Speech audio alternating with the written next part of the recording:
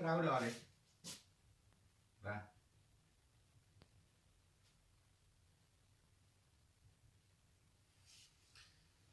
ជំរាបសួរប្រិយមិត្តនៅក្នុង Facebook ទាំងអស់ជាទីគោរព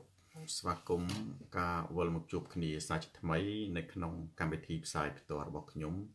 នាម៉ោង9យប់ម៉ោងនៅក្នុង ប្រទេសកម្ពុជា ប្រិយមិត្ត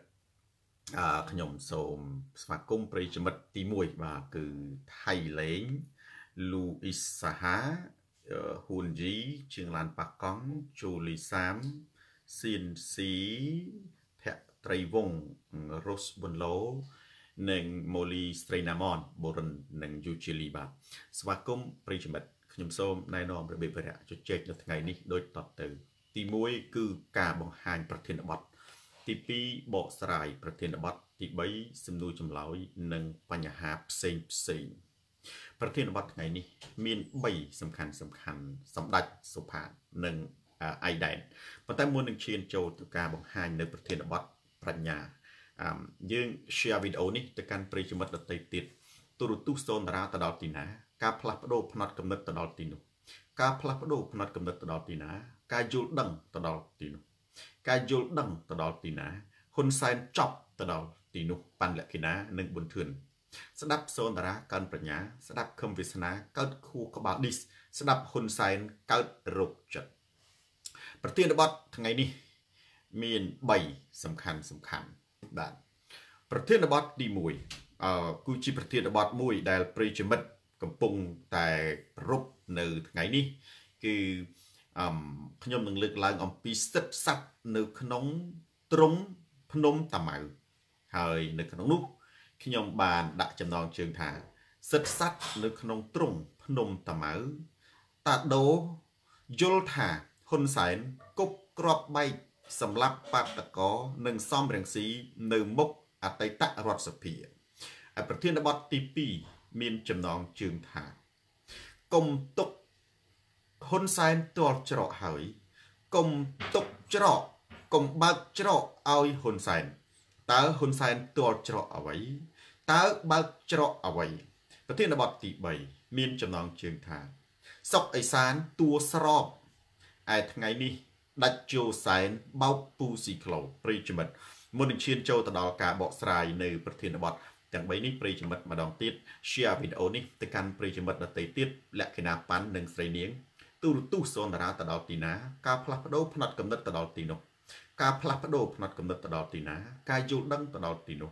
ការយល់ដឹងទៅដល់ទីណាហ៊ុនសែនចប់ទៅដល់ទីនោះស្ដាប់សូនតារាកើនប្រាជ្ញា ស្ដាប់ខឹមវាសនាកើតខួរក្បាលនេះស្ដាប់ហ៊ុនសែនកើតរោគចិត្តមុននឹងឈានចូលទៅដល់ប្រធានបទខ្ញុំមានគ្រឿងក្លែម2ទី1គឺសារបងប្អូនប្រិយមិត្តមួយរូបមកពីខេត្តបាត់ដំបង បានផ្ញើសារហើយនឹងរូបភាពផងដែរបាទមកពីបាត់ដំបងដោយគាត់ថាអឺលោកគ្រូឥឡូវនេះលោកឪពុករបស់ខ្ញុំឲ្យតែចប់វិទ្យុអាស៊ីសេរីព្រោះអាស៊ីសេរីចប់ម៉ោង8កន្លះកម្មវិធីរបស់សូនារាគឺចប់ម៉ោងគឺចាប់ផ្ដើមម៉ោង9:30នាទីក្រោយវិទ្យុអាស៊ីសេរីលមមគ្រប់គ្រាន់ណាទីបបិទ្ធមុខស្រស់ឲ្យបងប្អូននឹងសាកថ្មទូរស័ព្ទ គាត់ថាណែក្រោយពីបន្ទាប់ពីចប់វិទ្យុអាស៊ីសេរីទៅ គឺពុកខ្ញុំនឹងមើលអត់ដែលដាច់មួយថ្ងៃណាទេបាទហើយគាត់តែងតែណែឲ្យខ្ញុំនឹងចែកវីដេអូនេះ ទៅអ្នកដតីទៀតម្យ៉ាងទៀតចាស់ចាស់ភូមិខ្ញុំក៏និយាយដូចដូចគ្នាហើយគាត់ថាឥឡូវនេះចាស់ចាស់នៅភូមិគាត់ណាសូមមិនបញ្ចេញឈ្មោះនៅបាត់គាត់គាត់នៅបាត់ដំបងនឹង គឺថាបន្ទាប់ពីស្ដាប់ចប់វិទ្យុអាស៊ីសេរីទៅស្ទើរតែនរណានរណាដែលពីមុនមកគេធ្លាប់តែទៅមើលទូរទស្សន៍នឹងគឺគេឈប់ហើយគេមើលតែរឿងទេអញ្ចឹងនេះគឺជាភ័ស្តុតាងមួយបញ្ជាក់ថាបើយោងតាមសម្ដីប្រិយមិត្តមួយរូបនៅខេត្តបាត់ដំបងនោះទូរទស្សន៍គណៈបកប្រជាជនអេវ៉ាំងបាទចប់คล้ายទៅជាទូដាក់ឆ្នាំងណាចំណុចប្រធានបទគ្រឿងក្លែមទី2ថ្ងៃនេះយកម៉ៅ ខ្ញុំបានសរសេរអត្ថបទមួយ ដែលមានលក្ខណៈសច្ចធម៌ខ្ញុំថា អ្នកដែលជេរយើង ថាជាកញ្ជះអាមេរិកអ្នកដែលជេរអាមេរិកអ្នកដែលស្អប់អាមេរិកភាកច្រើន គឺពួកគេជេរតាមគេ ស្អប់តាមគេឬឬគណៈបកប្រជាជនជេរជេរតាមគណៈបក ប្រជាជនឬថាគណៈបកប្រជាជនស្អប់ស្អប់តាមគណៈបកប្រជាជន ហើយពួកគេមិនមើលឃើញតតែសោះថា ពួកគេកំពុងតែចាញ់បោកគណៈបកប្រជាជន និងមន្ត្រីអ្នកមានអ្នកមាន ដែលពួកទាំងនោះសុទ្ធតែមានផ្ទះមានហាងនៅសហរដ្ឋអាមេរិកហើយចំណែកពួកគេដែលជេរដែលស្អប់ ដែលចោតយើងកញ្ជះអាមេរិកទៅវិញទេអត់មានលទ្ធភាពអត់មានសមត្ថភាពមកលេងអាមេរិកជារៀងរាល់ឆ្នាំដោយអ្នកដែលគេនាំយើងជេរអញ្ចឹងខ្ញុំក៏ក្រើនជាសាររំលឹករឿងមួយ យើងត្រូវសួរខ្លួនយើង ថាតើក្នុងកំឡុងពេលដែលខ្លួនយើងកំពុងតែចងកំហឹងជាមួយអាមេរិកនេះ មានឃើញអ្នកមានគណៈបកប្រជាជនហ្នឹងលួចរំដោះលុយចេញទៅក្រៅប្រទេសរំដោះកូនរំដោះចៅចេញទៅក្រៅប្រទេស ហើយយើងនៅកង្កែបក្នុងអណ្ដូងមិនដែលបានចេញទៅណាទាល់តែសោះក្រៅតែពីទៅប្រទេសជុំវិញប្រទេសថៃប្រទេសឡាវប្រទេសវៀតណាមដែលអត់ត្រូវការវីសាយើងមានបានសួរខ្លួនឯងទេបើសិនជាពួកនោះ គេស្អប់អាមេរិកយ៉ាងពិតប្រាកដមែន យើងត្រូវសួរថាហេតុអីបានជាពួកនឹងទៅលេងអាមេរិករៀងរាល់ឆ្នាំហេតុអីបានជាពួកនឹងគេមានលុយហេតុអីបានជាពួកនឹងគេមានផ្ទះគេមានហាងនៅអាមេរិកអឺឯចំណែកឯងនេះអាជេអាមេរិកអាខឹងអាមេរិកអាចោតគេថាកាជះអាមេរិកផ្លេចគិតថា អ្នកដែលខ្លួនឯងកាន់ជើងនឹងសិតតែ មានផ្ទះមានហាង មានបងប្អូននៅអាមេរិកអញ្ចឹង កន្លែងហ្នឹងដែលខ្ញុំចង់បញ្ជាក់ថាបោកយើងត្រូវផ្សើររើឡើងវិញសួរខ្លួនឯងឡើងវិញសុភាពយិនហ្នឹងហើយមួយទៀតយើងឃើញថាវាអត់មានឃើញសិល្បករណា នៅក្នុងប្រទេសកម្ពុជា ទៅ ប្រគំតន្ត្រីនៅស្រុកយួនសោះវាអត់ឃើញសិល្បករណា ទៅ ប្រគំតន្ត្រីនៅស្រុកចិនសោះសុទ្ធតែទៅ ប្រគំតន្ត្រីនៅអាមេរិក និងអឺរ៉ុបជាពិសេសសិល្បករជាច្រើនសុទ្ធតែអួតអះអាងថាខ្លួនឯងជាគណៈបកប្រជាជន ហើយគណៈបកប្រជាជនសុទ្ធតែអួតអះអាងថាខ្លួនឯងស្អប់អាមេរិកហើយឃើញតអ្នកដែលស្អប់អាមេរិកជាអាមេរិកហ្នឹងណាទៅទិញផ្ទះមានហាង ទៅសម្ដែងនៅស្រុកអាមេរិកឥឡូវចំណុចហ្នឹងបងប្អូនត្រូវដាក់ចម្ងល់សួរមើលត្រូវដាក់ចម្ងល់សួរមើលណាអញ្ចឹង ក៏មានប្រិយមិត្តម្នាក់គាត់បានតបដែរគាត់ថា យើងមិនស្អប់អាមេរិកទេទីសេងនឹងយួនវងវិញជាតិខណ្ឌសវណ្ណប៉ុន្តែសូមអាមេរិកកុំធ្វើបាបយើងក៏ក៏ឆ្ងល់ទៅទៀតថាតើអាមេរិកធ្វើបាបរឿងអីអាមេរិកធ្វើបាបរឿងអីបើសិនជាអាមេរិកធ្វើបាប គេមកធ្វើបាបអីយើងកប៉ិកប៉ុកអង្គកប៉ុង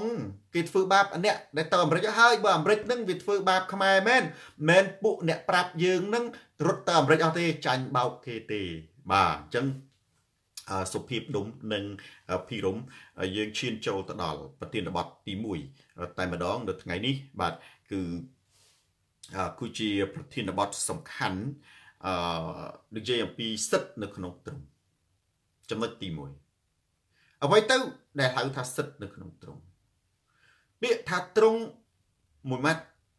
គឺមានន័យថាវាមិនមែនជាច្បាប់ទេ អ្នកខ្លះគេព្យាយាមបកស្រាយថាសិទ្ធថាត្រង់គឺជាច្បាប់ខុសត្រង់គឺជាការឃុំឃាំងគឺជាការបំបិតសិទ្ធបំបិតសេរីភាពឯចំណែកច្បាប់ គឺជាការកំណត់ហើយការពារឥឡូវយើងមើលខ្ញុំប្រៀបធៀបទៅជាសត្វនៅក្នុងទ្រង់ភ្នំតាម៉ៅ បងប្អូនបានទៅភ្នំតាម៉ៅហើយស្ដាំស្ដាំគូសេននិងលីឈុនដានី ភ្នំតាម៉ៅយើងឃើញតោក៏ឃើញ យើងឃើញកពើក៏ឃើញ យើងឃើញខ្លាក៏ឃើញ យើងឃើញពស់ក៏ឃើញ យើងឃើញសុទ្ធតែសត្វសាហាវសាហាវដែលអាចសម្លាប់យើងបានប៉ុន្តែហេតុអីបានជាមនុស្សអត់ខ្លាចសត្វទាំងអស់យើងច្បាស់ជានៅក្នុងព្រៃ យប់យើងមិនហ៊ានទេយើងខ្លាចសត្វខ្លាមកស៊ីយើងខ្លាចចចកយើងខ្លាចពស់លេបយើងខ្លាចតោហែកណាយើងខ្លាចសត្វចង្រៃណាប៉ុន្តែផ្ទុយទៅវិញមនុស្សបែរជាចូលចិត្តទៅភ្នំតាម៉ៅ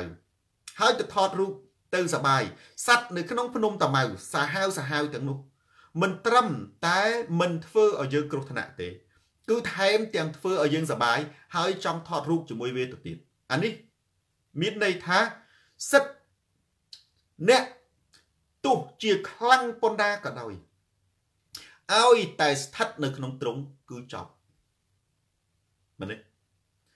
សត្វខ្លាទោះជាសាហាវយ៉ាងណាក៏ដោយឲ្យតែជាប់ទ្រង់គឺស្មើ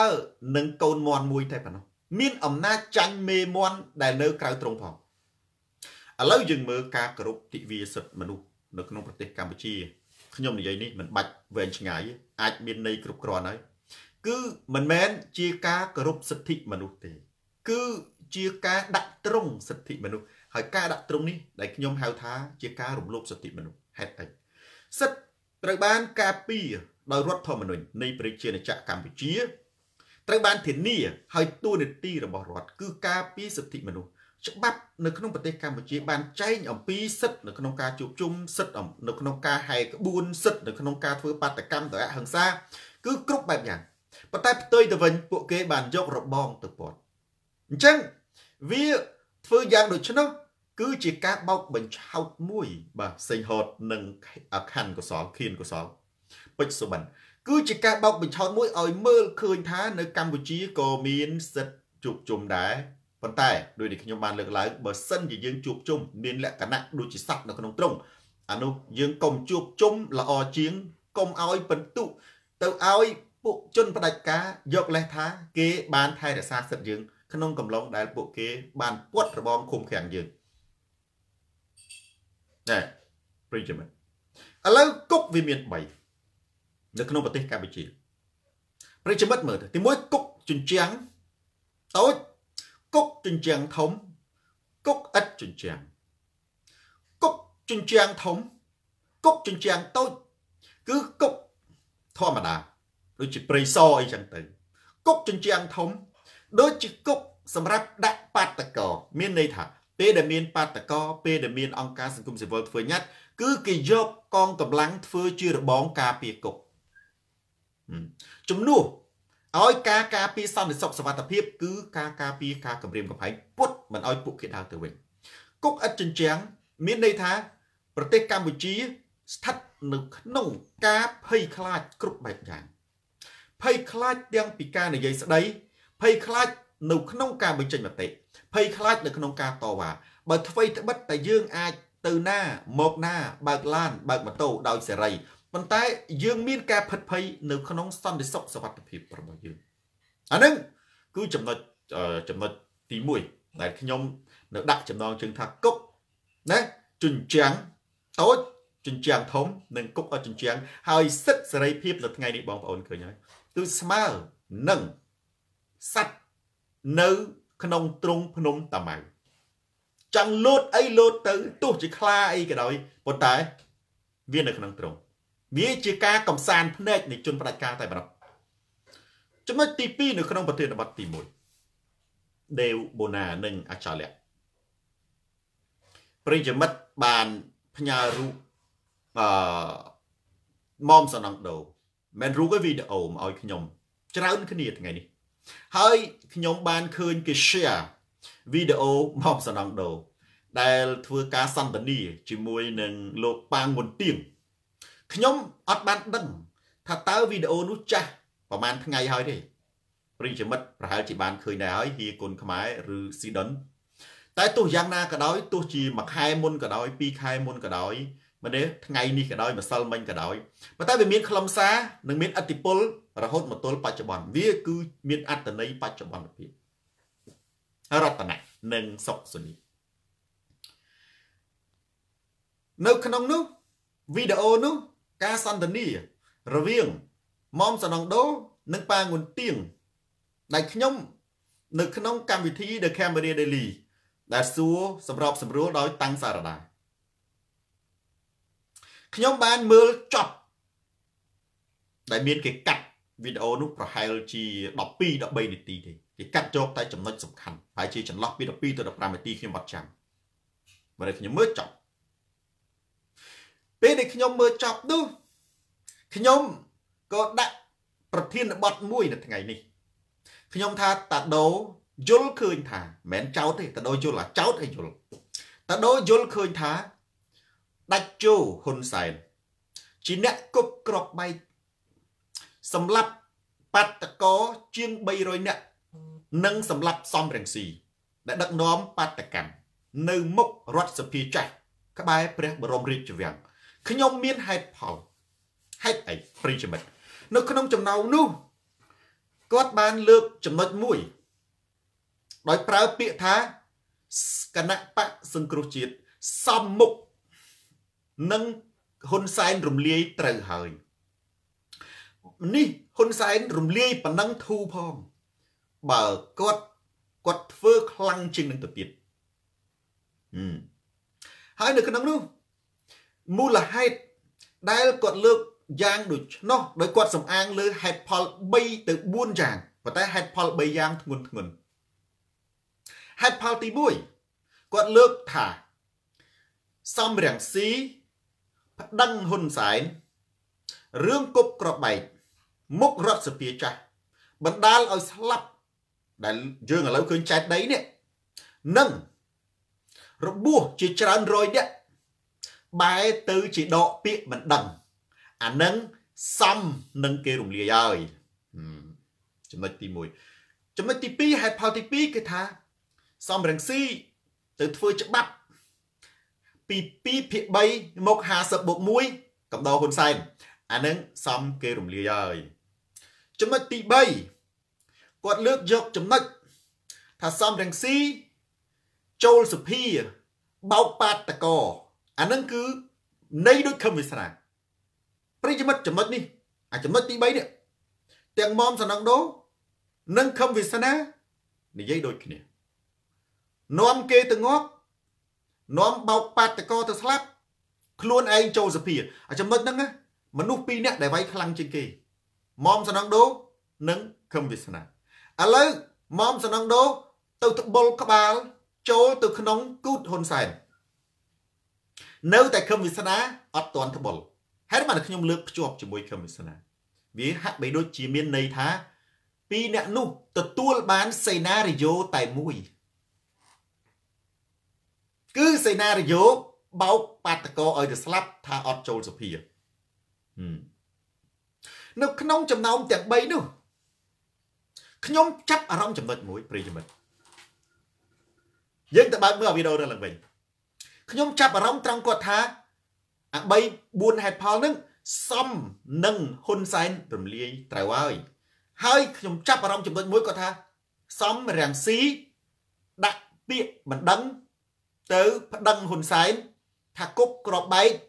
នៅពីក្រោយខ្នងការគប់ក្របបែកសម្រាប់បាតកោរាប់រយនាក់និងសម្រាប់សំរងស៊ីហើយគាត់ថាសំរងស៊ីដកពាក្យបណ្ដឹង សំនឹងគេរំលាយត្រូវហើយមានន័យថាម៉េចបើយោងតាមសម្ដីរបស់មុំសំណងដោរបស់តាដោបញ្ជាក់ឲ្យឃើញថាគាត់អត់ពេញចិត្តសំរងស៊ីនៅក្នុងការដកពាក្យបណ្ដឹងទេគាត់គ្រប់គ្រងឲ្យប្តឹងនៃនេះមុំសនងដូចង់បញ្ជាក់ថា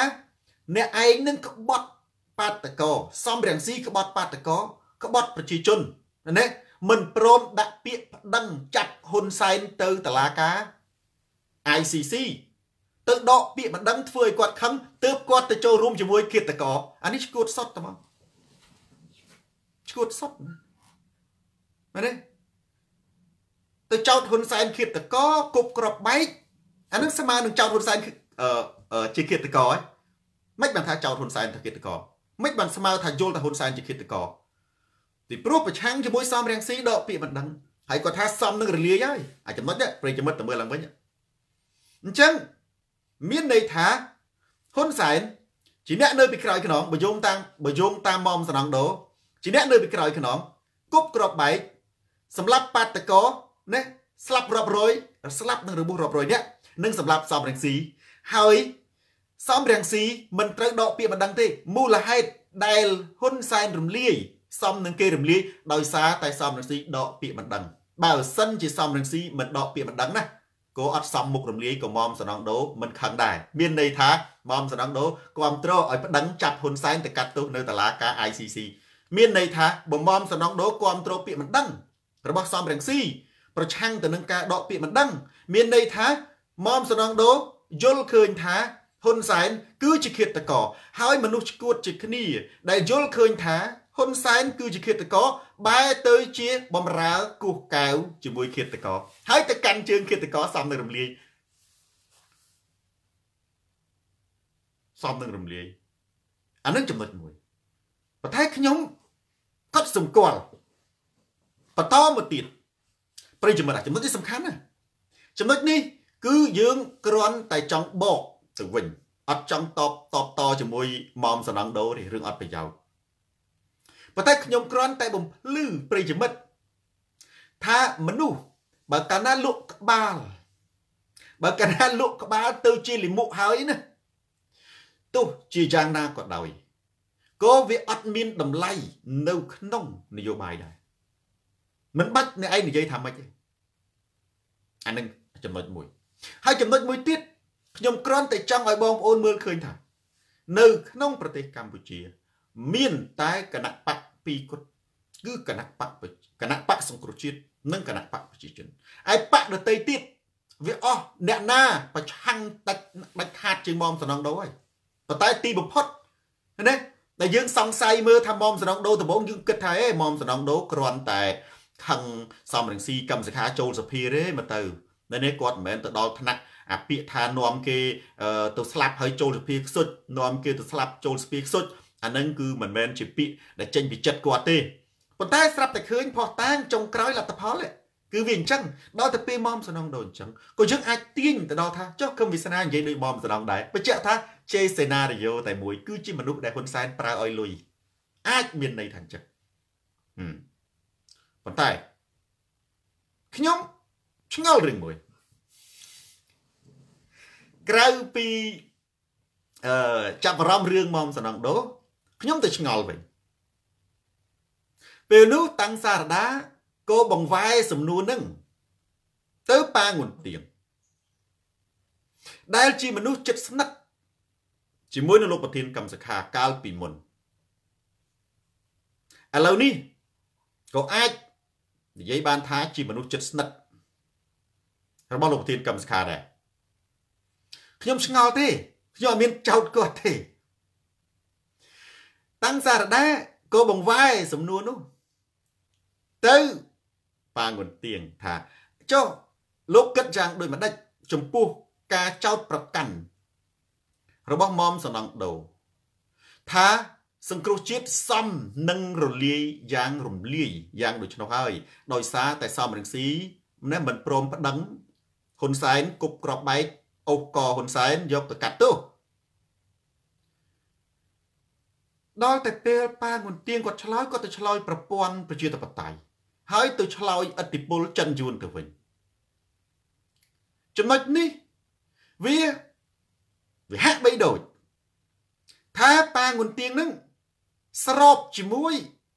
មុំសណងដូដែរព្រោះអានេះវាវាអញ្ចឹងមែនទេពួកគេសួរថា yes ឬក៏ no អ្នកឯងអត់មាត់មានន័យថាអ្នកឯងឯកភាព អានឹងដូចទៅចាប់រំលោភអញ្ចឹងបើថា no គឺ no ចម្លើយ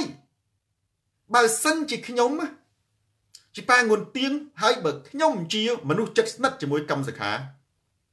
បើសិនជាខ្ញុំជាអ្នកគ្រប់គ្រងសង្គ្រោះជាតិជាអ្នកគ្រប់គ្រងប្រព័ន្ធប្រជាធិបតេយ្យណាខ្ញុំហ៊ាននិយាយហ្មងខ្ញុំអត់និយាយតែប៉ែមែនដើម្បីជាតិខ្មែរខ្ញុំថាមុំសណោដូចនិយាយខុស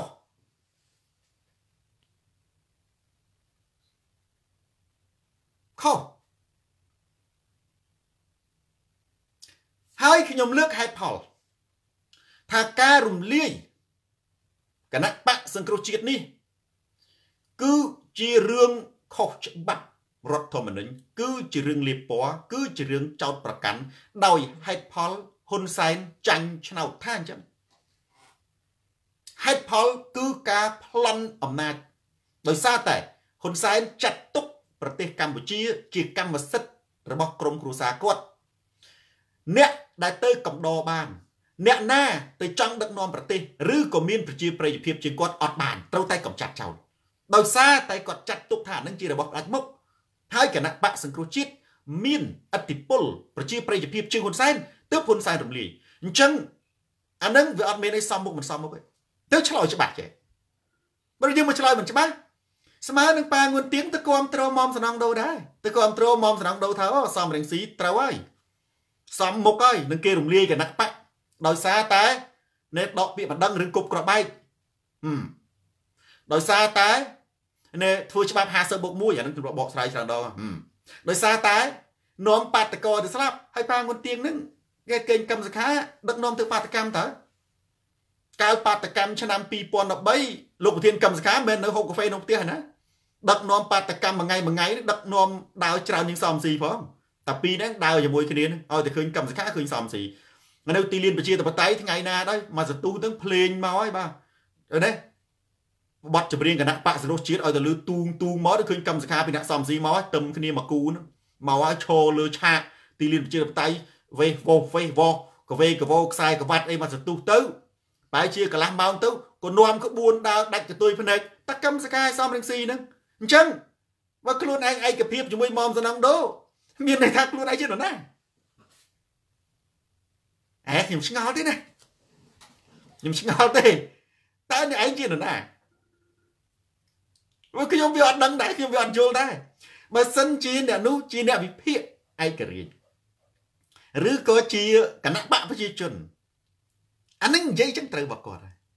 រឿងមួយទៀតខ្ញុំឲ្យយោបល់ បើថាគាត់ស្អប់សំរងស៊ីក៏ស្អប់ទៅចុះបើសិនជាខ្ញុំស្អប់សំរងស៊ីខ្ញុំអត់និយាយចឹងទេនេះខ្ញុំថា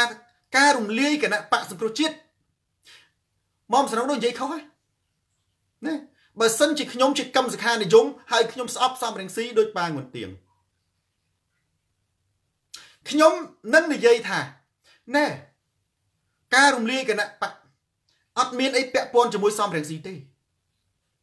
ពីព្រោះសំរងស៊ីបានលាចេញពីគណៈបកយូរហើយក្នុងកំឡុងពេលមុនពេលដែលគណៈបកសង្គ្រោះជាតិត្រូវបានចោទថាក្បត់ជាតិនោះគណៈបកសង្គ្រោះជាតិបោះឆ្នោតតាមផ្លូវច្បាប់ដល់ហើយគឺក្រមប្រសាគុំសង្កាត់ហើយពេលដែលគណៈបកសង្គ្រោះជាតិបោះឆ្នោតនឹងលោកប្រធានកម្មសខាគឺជាប្រធានគណៈបកសំរងស៊ីជាសមាជិកធម្មតាឬមិនមែនជាសមាជិកគណៈបកគ្រាន់តែជាអ្នកគ្រប់គ្រងធម្មតានៅក្រៅប្រទេស នេះខ្ញុំនឹងចង្អុលមុខបងស្រង់ដូរថាអញ្ចឹងខ្ញុំថាតដូរអីខុសទី1សំរងស៊ីលាចេញពីបកហើយលោកប្រធានកម្មសខាដឹកនាំគណៈបកជាប្រធាននៅក្នុងការបោះឆ្នោតគុំសង្កាត់ហ៊ុនសែនចាត់ផ្ដើមចោតគណៈបកសង្គ្រោះជាតិក្បត់ជាតិគឺក្រោយការបោះឆ្នោតគុំសង្កាត់មិនមែនមុនការបោះឆ្នោតគុំសង្កាត់ទេបើចោតមុនការបោះឆ្នោតគុំសង្កាត់គណៈបកសង្គ្រោះជាតិអត់បានបោះឆ្នោតនៅពេលគុំសង្កាត់ទេ អានឹងចំណុចទី1ចំណុចទី2រឿងសំរងស៊ីគប់ប្របែកមិនគ្រប់ប្របែករឿងដកពាក្យមិនដឹងមិនដកពាក្យមិនដឹងអត់មានឯពាក់ព័ន្ធជាមួយគណៈបកសង្គ្រោះជាតិទេណាពីព្រោះគណៈបកសង្គ្រោះជាតិគឺដឹកនាំដោយលោកប្រធានកម្មសខាគណៈអចិន្ត្រៃយ៍គណៈកម្មការនយោបាយបរិបទ8នាក់ហើយរឿងគប់ក្របបែកគឺជារឿងទូទាត់រវាងគណៈបកប្រជាជន និងគណៈបកជាតិខ្មែរណា ហើយរឿងបោកមនុស្សឲ្យទៅស្លាប់រឿងបាតកម្មចំណុចទី3នេះគឺជាសាររបស់គណៈបកប្រជាជន ដែលចង់ចាក់បំបែកបំបាក់យកលេសដើម្បីទម្លាក់មកលើគណៈបកប្រឆាំងតែប៉ុណ្ណោះហើយរឿងនេះវាត្រូវបានចប់ទៅហើយក្រោយវប្បធម៌ក្រោយកិច្ចព្រមព្រៀងនយោបាយមុនចូលសភាមានន័យថាពេលដែលគណៈបកទាំងពីរគណៈបកប្រជាជន និងគណៈបកសង្គ្រោះជាតិ បានធ្វើកិច្ចព្រមព្រៀងនៅវប្បធម៌សន្តានាបានបញ្ចប់នៅរាល់រឿងអតីតហើយនាំគ្នាចូលសភាបង្កើតកោជបនិងបង្កើតគណៈកម្មការតែងតាំងលោកប្រធានកម្មសខាជាអនុប្រធានទី1រដ្ឋសភាមានន័យថារឿងនេះវាចប់បាត់ហើយរឿងវាចប់ហើយណាអញ្ចឹងមុំស្រងដោអត់មានការរំលាយគណៈបកសង្គ្រោះជាតិណាកុំទាញឲ្យពាក់ព័ន្ធជាមួយសំរងស៊ីសោះបើខ្ញុំជាប៉ាងុនទៀងខ្ញុំនិយាយច្បាស់ចឹង ហើយនឹងការពិតកន្លែងនេះថាមិនពិតណាឥឡូវប្រិយមិត្តមើលមើលតើការរំលាយគណៈបកសង្គ្រោះជាតិមានរឿងអីពាក់ព័ន្ធជាមួយគប់ប្របែកសំមុខវាតើតែគណៈបកសង្គ្រោះជាតិនឹងវាជាកម្មសិទ្ធិរបស់សំរងស៊ីផ្ដាច់មុខការរំលាយគណៈបកសង្គ្រោះជាតិនេះមិនមែននេះខ្ញុំចង្អុលមុខតាដូទេការរំលាយគណៈបកសង្គ្រោះជាតិដូចខ្ញុំប្រាប់ចឹងដោយសារតែហ៊ុនសែនចាញ់ចាត់ទុកកម្ពុជា កម្ពុជាជាកម្មសិទ្ធិផ្ទាល់ខ្លួនមិនអាចនរណាទៅដណ្ដើមបានហើយខ្លួនឯងកាន់អាវុធដើរដើរកំទេចគេមែនទេអត់មានជាកំហុសកម្មសខាពួកទៅឲ្យកំហុសកម្មសខាមិនមិនអាចទៅនិយាយថា កាលគណៈគណៈបកសង្គ្រោះជាតិត្រូវបានគេរំលាយគឺក្នុងពេលដែលកម្មសខាកំពុងតែកាន់កាប់មែនក្នុងកំឡុងពេលដែលកម្មសខាកំពុងតែជាប្រធានគណៈបកមែនប៉ុន្តែមិនអាច យកអាពាក្យថាកម្មសខា ជាប្រធានគណៈបកហើយគេរំលាយក្នុងដៃកម្មសខាជាកំហុសកម្មសខាអ្នកដែលនិយាយនឹងឈួត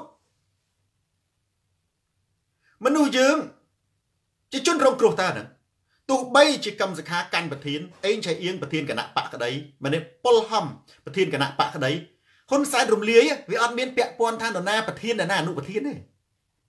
គឺហ៊ុនសែនត្រូវតែរំលាយកុំហុស គឺហ៊ុនសែនចាញ់ចាត់ទុកប្រទេសកម្ពុជាជាកម្មសិទ្ធិផ្ទាល់ខ្លួនមិនចង់ឲ្យមានការប្រកួតប្រជែងទើបរំលាយគណៈបកសង្គ្រោះជាតិហើយសំរងស៊ីគាត់លាលែងដោយសារតែគាត់ចង់ការពារគណៈបកបើទោះជាកម្មសខាលាលែងទៀតក៏ហ៊ុនសែនត្រូវតែរំលាយដែរនរណាដាក់នរណាក៏ហ៊ុនសែនត្រូវតែរំលាយដែរអញ្ចឹងការរំលាយគណៈបកនេះវាអត់ពាក់ព័ន្ធអីជាមួយកម្មសខានេះជាប្រធានគណៈបកវាអត់ពាក់ព័ន្ធអីជាមួយសំរងស៊ីដកពាក្យមិនដឹងមិនដកពាក្យមិនដឹង50បូក1ឬមិន50បូក1 វាអត់ពាក់ព័ន្ធអីជាមួយសំរងស៊ីដឹកនាំធ្វើបាតកម្មជាមួយកម្មសខា គឺវាពាក់ព័ន្ធត្រង់ហ៊ុនសែនចាញ់ឆ្នោតហើយមិនព្រមប្រកួតដោយដឹងថាខ្លួនឯងចាញ់គណៈបកសង្គ្រោះជាតិត្រូវតែរំលាយចប់តែប៉ុណ្ណោះទៅនិយាយណាវែងឆ្ងាយនិយាយណាទេអានេះខ្ញុំឆ្ងល់ទៅវិញទេណាដល់តែចឹងវាធ្វើឲ្យខ្ញុំឆ្ងល់ តែខ្ញុំធ្វើឆ្ងល់ថាទេប៉ាងុនទៀង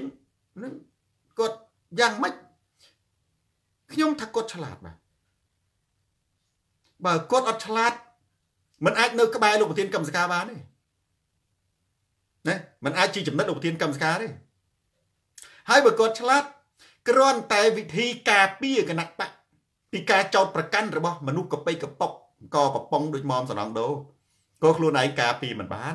អញ្ចឹងមានន័យថាយើងនឹងឯកភាពជាមួយមុំសំណងដោអានេះខ្ញុំឆ្ងល់ទេណាបើឯកភាពជាមួយមុំសំណងដោអានឹងចប់ហើយមានអីទៀតគណៈបកសង្គ្រោះជាតិកម្មសខាត្រូវឲ្យសំជាប់គុកត្រូវហើយគឹមវាសនាគេថាអញ្ចឹងមែនទេមែនទេសំនៅរលាយអើបើឯកភាពអីមុំសំណងដោដែរមិនបាច់ខឹងសំរឿងស៊ីរឿងអីតតតាំងរឿងស្អីអញ្ចឹងបានជាខ្ញុំថ្ងៃនេះខ្ញុំបំភ្លឺជូនប្រិយមិត្តរឿងតាដូ ទេបាទហើយរឿងរឿងប៉ាងគុនទៀងខ្ញុំឆ្ងល់ទេហើយបងប្អូនយកទៅពិចារណាដោយខ្លួនឯងទៅបាទបើខ្ញុំជាប៉ាងគុនទៀងហើយបើខ្ញុំស្អប់សំរងស៊ីដូចអាចខ្ញុំនិយាយអញ្ចឹង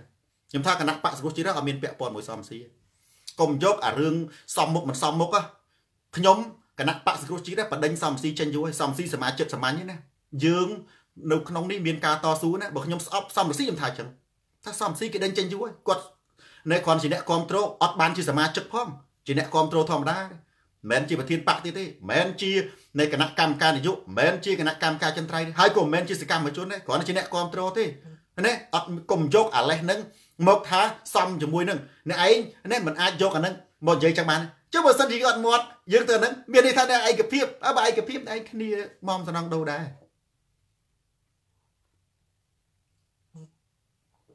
មិនចឹង ប្រធានបទទី2ប្រតិកលាប្រិយមិត្តដែលខ្ញុំនិយាយមកដល់ចំណុចនេះខ្ញុំចង់ប្រាប់ប្រិយមិត្តថាចៅសវណ្ណចៅវណ្ណរិទ្ធ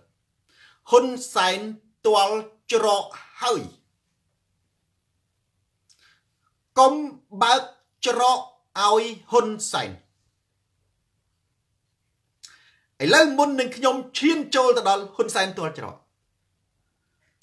ខ្ញុំរំលឹកនៅស្ថានភាពអន្តរជាតិមានន័យថាទនកម្មគឺដើរតាមហ៊ុនសែនជានិច្ចខុនម៉ាឡាប៉ាដិនអត់មានឈប់ទេកុំរំពឹងឲ្យសោះថាហ៊ុនសែនដើរទៅមុខបន្តចាប់ខ្លួនកឹមសខា បន្តរំលាយគណៈបកសង្គ្រោះជាតិទនកម្មវាឈប់គ្រាន់តែថាតើហ៊ុនសែនអាច រស់បានដល់ពេលណាអានឹងកំណាក់បំសំណងនោះវិញអាចទ្រាំបានដល់ពេលណាតើហ៊ុនសែនអាចទ្រាំជាមួយទនកម្មឬក៏ត្រូវបាក់ឆ្អឹងច័ន្ទវាសនានិងសម្រាប់ការនៅពេលណាដែលទម្ងន់ទនកម្មសង្កត់ទៅលើហ៊ុនសែនពេលដែលយើងឈានមកដល់ចំណុចនេះ យើងចាប់ផ្ដើមរកឃើញថាហ៊ុនសែនត្រូវដោះអាទម្ងន់ហ្នឹង អាទម្ងន់ទនកម្មហ្នឹងនៅពេលដែលហ៊ុនសែនត្រូវដោះអាទម្ងន់ទនកម្មហ្នឹងហ៊ុនសែនដោះអត់ចេញហ៊ុនសែនដោះមិនចេញអានឹងយើងហៅថាតល់ច្រកប៉ុន្តែឥឡូវខ្ញុំសួរប្រិយមិត្តត្រឡប់មកដល់ចំណុចនេះតើហ៊ុនសែនតល់ច្រកនោះអ្វីហ៊ុនសែនតល់ច្រក3យ៉ាងប្រិយមិត្តមុំ3 ដែលហ៊ុនសែនចេញអត់រួចទី1បើហ៊ុនសែន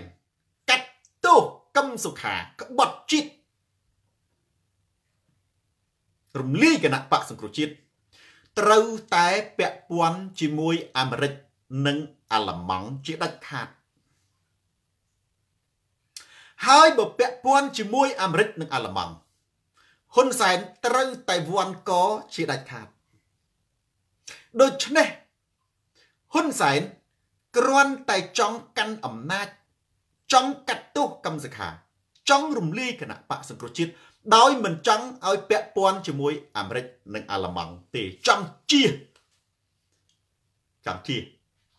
អញ្ចឹងហ៊ុនសែនមិនអាចកាត់ទោសកម្មសខាបានទេទាល់មួយគាត់ត្រូវបន្តឃុំឃាំងហេតុអីបានថាចឹង ពីព្រោះអាមេរិកបានឆ្លើយតបជាមួយហ៊ុនសែនពីរចំណុចដែលខ្លួនលូកដៃទី1ជាប្រទេសមហាម្ចាស់ហត្ថលេខីកិច្ចព្រមព្រៀងសន្តិភាពទីក្រុងប៉ារីទី2ដោយសារតែហ៊ុនសែនភ្ជាប់ហើយហ៊ុនសែនមិនអាចប្រកែកបានទេមិនអាចប្រកែកបានត្រង់ណាបើហ៊ុនសែនគ្រាន់តែនិយាយភ្ជាប់វាអត់មានអីធ្ងន់ធ្ងរទេប៉ុន្តែហ៊ុនសែនមិនត្រឹមតែចោតអាមេរិកថានៅពីក្រោយខ្នងកម្មសខាទេថែមទាំងមានវិធានការក្តៅ3យ៉ាង អីគេទី1បណ្ដេញអង្គការ NDI ហើយដាក់អសានវត្តប្រហែលម៉ោងបើមិនចេញទេចាប់ដាក់គុកសាហាវទី2គឺបិទប្រព័ន្ធផ្សព្វផ្សាយអាមេរិក VOA និងអាស៊ីសេរីរឿងដ៏សាហាវមួយទៀតដែលហ៊ុនសែនវាយក្បាលអាមេរិកដល់ដឹងថាអាមេរិកខ្ពើមអត់តដៃណាគឺចាប់បុកតលឹកវិទ្យុអាស៊ីសេរីពីរអ្នកដាក់គុកម្នាក់រត់ភៀសខ្លួនជន់ច័ន្ទបុតទី3ហ៊ុនសែនបានចាប់ អង្គការសង្គមស៊ីវិលដែលខ្លួនសំដែលខ្លួនដឹងថាទទួលជំនួយថវិកាអភិវឌ្ឍពីអាមេរិកដោយគិតថាអង្គការសង្គមស៊ីវិលនឹងគឺជាអាយ៉ងរបស់អាមេរិកអញ្ចឹងអាហេតុផល3ហ្នឹងហ៊ុនសែនអាចកលាស់ថាមិនក៏បានដែរប៉ុន្តែរឿងវាកើតបាត់ទៅហើយរឿងអង្គការ NDI ហ៊ុនសែនដេញបាត់ហើយឥឡូវមិនទាន់មានសុខខ្មែរណាឯកសារតោះហ្នឹងមិនអាចលុបបានទេរឿងជាប់គុកអត់មានខាវិញបានទេ នេះបុគ្គលិកបញ្ជូអាស៊ីសេរី2នាក់ហើយនឹងម្នាក់មុំបោកជាមួយនឹងជនចិត្តបុតរឿងមន្ត្រីអង្គការសង្គមស៊ីវិល5រូបជាប់គុកដោយសារតែអ្នកនឹងហ៊ុនសែនយល់ថាស៊ីលុយណែជំនួយរបស់អាមេរិកនឹងជាប់គុករឿងហ្នឹងសិនរឿងកើតមានឡើងមិនអាចប្រកែកបានទេមួយមួយទៀតហ៊ុនសែនចោតអាល្លឺម៉ង់ដោយសារតែអង្គការមួយបណ្ដោះបណ្ដាលគណៈបកសង្គ្រោះជាតិ ស្ដីអំពីភាពជាអ្នកដឹកនាំនិងការកសាងកម្លាំងរចនាសម្ព័ន្ធយុវជន គឺការកសាងបណ្ដាញរបៀបឃោសនា ដែលមានឈ្មោះថាអង្គការ contract ដូច្នេះការដែលចោតអង្គការ contract និងអង្គការអាមេរិកគឺច្បាស់ណាស់ថាហ៊ុនសែននឹងជាប់ពាក់ព័ន្ធជាមួយអាមេរិកនិងអាល្លឺម៉ង់ចុះអាច្រកទី1នេះ ហ៊ុនសែនគៀងអាចចំណុចហ្នឹងហើយបាទបងប្អូនយើងចិត្តតែឆ្ងល់ចុះហ៊ុនសែនព្រមកាត់ទោសកម្មសខាព្រមកាត់ទោសកម្មសខាហើយមិនគិតចិត្តតែឃុំខុសនីតិវិធីខុសអារឿងមិនហ្នឹងយើងដឹងហើយទាល់ទី2តច្រកទី2បើហ៊ុនសែនមិនកាត់ទោសកម្មសខាហេអាមិញគេហៅថាបើកាត់ទោសទាល់ទី1ផ្លូវទាល់ណាឥឡូវត្រឡប់ក្រោយត្រឡប់ក្រោយបើហ៊ុនសែនកាត់ទោសកម្មសខាមិនកាត់ទោសកម្មសខា វាមានន័យថាកម្មសខាវាអត់ក្បត់ជាតិបើកម្មសខាអត់ក្បត់ជាតិមានន័យថាគណៈបកសង្គ្រោះជាតិដំណើរការឡើងវិញព្រោះអានឹងវាមានន័យណារំលាយគណៈបកសង្គ្រោះជាតិហាម118នាក់ដោយសារតែក្បត់ជាតិកម្មសខាដល់ឥឡូវកម្មសខាអត់មានទោសអញ្ចឹង ត្រូវឲ្យគណៈបកសង្គ្រោះជាតិដំណើរការធម្មតាកម្មសខាដឹកនាំគណៈបក118នាក់មិនបាច់មិនបាច់អោនក្បាលសុំមកឲ្យអូតូម៉ាទិកអញ្ចឹងទៅផ្លូវណាផ្លូវទី1កាត់ទោសកម្មសខាហឹមពាក់ព័ន្ធអាមេរិកងាប់ហ៊ុនសែនផ្លូវទី2អត់កាត់ទោសកម្មសខាអត់ទោសងាប់ហ៊ុនសែនគណៈបកសង្គ្រោះជាតិមិនរត់ធម្មតា ច្រកគៀងទី3បន្តដំណើរទៅមុខទនកម្មសកត់បាក់ឆ្អឹងណែចឹងហ៊ុនសែនណាទល់ច្រក3ហ្នឹងប្រិយមិត្តអាទៅមុខវាអត់រួចអាមកក្រោយវាអត់រួចថាទៅជំហៀងវាអត់រួចបើកាត់ទោសកម្មសខាវាប៉ះអាមេរិកអាល្លឺម៉ង់បាទបើមិនកាត់ទោសកម្មសខាដោះលែង កម្មសខាអត់ទោសគណៈបកសង្គ្រោះជាតិដំណើរការបើមិនកាត់ទោសមែនទេបើធ្វើដូចបច្ចុប្បន្នបន្តដំណើរឃុំកម្មសខាទៅមុខទៀតទនកម្មធ្លាក់បាក់ឆ្អឹងចំណុចនេះយើងឃើញហ៊ុនសែនទាល់ច្រកយើងកុំបើកច្រកឲ្យហ៊ុនសែនចាញ់ប្រិយមិត្តយើងអត់មានត្រូវខ្លាចហ៊ុនសែនទេ ត្រូវប្រយុទ្ធតើច្រកដែលហ៊ុនសែនចេញហ្នឹងមាន3ដែរច្រកដែលហ៊ុនសែនចេញមាន3ដែរទី1កុំសុំសិទ្ធធ្វើនយោបាយសង្គ្រោះហ៊ុនសែនបើកណាយើងចូលទៅលើសពី50%ហ៊ុនសែននឹងយកបានលក្ខនឹងទៅប្រាប់សហគមន៍អន្តរជាតិថាណែឥឡូវគេផ្សះផ្សាជាតិហើយណា ខ្មែរនឹងខ្មែរនិយាយគ្នាហើយគេឯកភាពហើយណាដោះលែងកម្មសខាហើយណាពេលនោះសម្ពាធអន្តរជាតិនឹងធូរស្បើយហ៊ុនសែនរស់មួយអាណត្តិពេញហើយដោះស្រាយភាសាទៀតទី2កុំបែកបាក់កម្មសខាសំរងស៊ីច្រកទី1ហ៊ុនសែនចេញតាមប្រឡោះសុំសិទ្ធធ្វើនយោបាយអញ្ចឹងបានតែខ្ញុំថា ចូល1ក្បត់1ចូល2ក្បត់2ចូល1ក្បត់1ចូល2ក្បត់2មានន័យថា ក្បត់កម្មសខា ក្បត់គណៈបកសង្គ្រោះជាតិថាកម្មសខាក្បត់ជាតិសំនឹងហ៊ុនសែនដាក់គុកគណៈបកខ្លួនឯងសង្គ្រោះជាតិរំលាយគឺដោយសារតែក្បត់ជាតិមិនទទួលស្គាល់ក្បត់ឆន្ទៈប្រជាជន ដែលប្រជាជនត្រូវតែជេរប្រមាថតែដៀលគឺត្រូវហើយ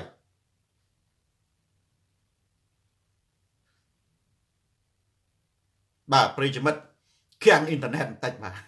សំទោសមរេតទៅមុខទៀតណែអញ្ចឹងបើយើងចូលអានឹងបើកច្រកហ៊ុនសែនហ៊ុនសែនចេញបានប្រិយមិត្តគឺជន់យើងងាប់ច្រកទី2គឺបែកបាក់កម្មសខាសំរងស៊ីដូចជាការញុះញង់របស់គេប្រព័ន្ធផ្សព្វផ្សាយគេថាអឺកម្មសខាឥឡូវអស់ជើងឈរហើយណែអាលីងហើយណោះ គណៈក្រុមសំរងស៊ីយកខ្ទេចចាស់ថាអូក្រុមសំរងស៊ីនោះឥឡូវនឹងអស់អាលីងហើយណែមនុស្សមន្ត្រីច្រើនណាស់ចាប់ផ្ដើមខ្សឹបខ្សៀវចុះចូលធ្វើនយោបាយជាមួយនឹងលោកប្រធានកម្មសខាអូលោកកូនស្រីលោកប្រធានកម្មសខាហ្នឹងណែណែបង្កើត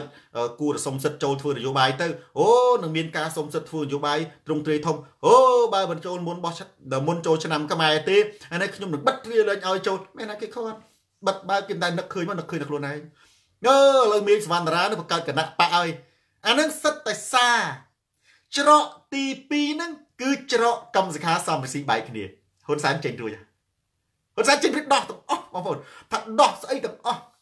ចុះច្រកទី3គឺបោះបង់ចោលការតស៊ូជាមួយនឹងសហគមន៍អន្តរជាតិហេតុអីពីព្រោះច្រកទី1ម៉ែនេះបិទហ៊ុនសែនច្រកទី2 ខ្ទប់ចំោះហ៊ុនសែនច្រកទី3បណ្ដើហ៊ុនសែនទៅកាន់ជ្រោះមរណៈ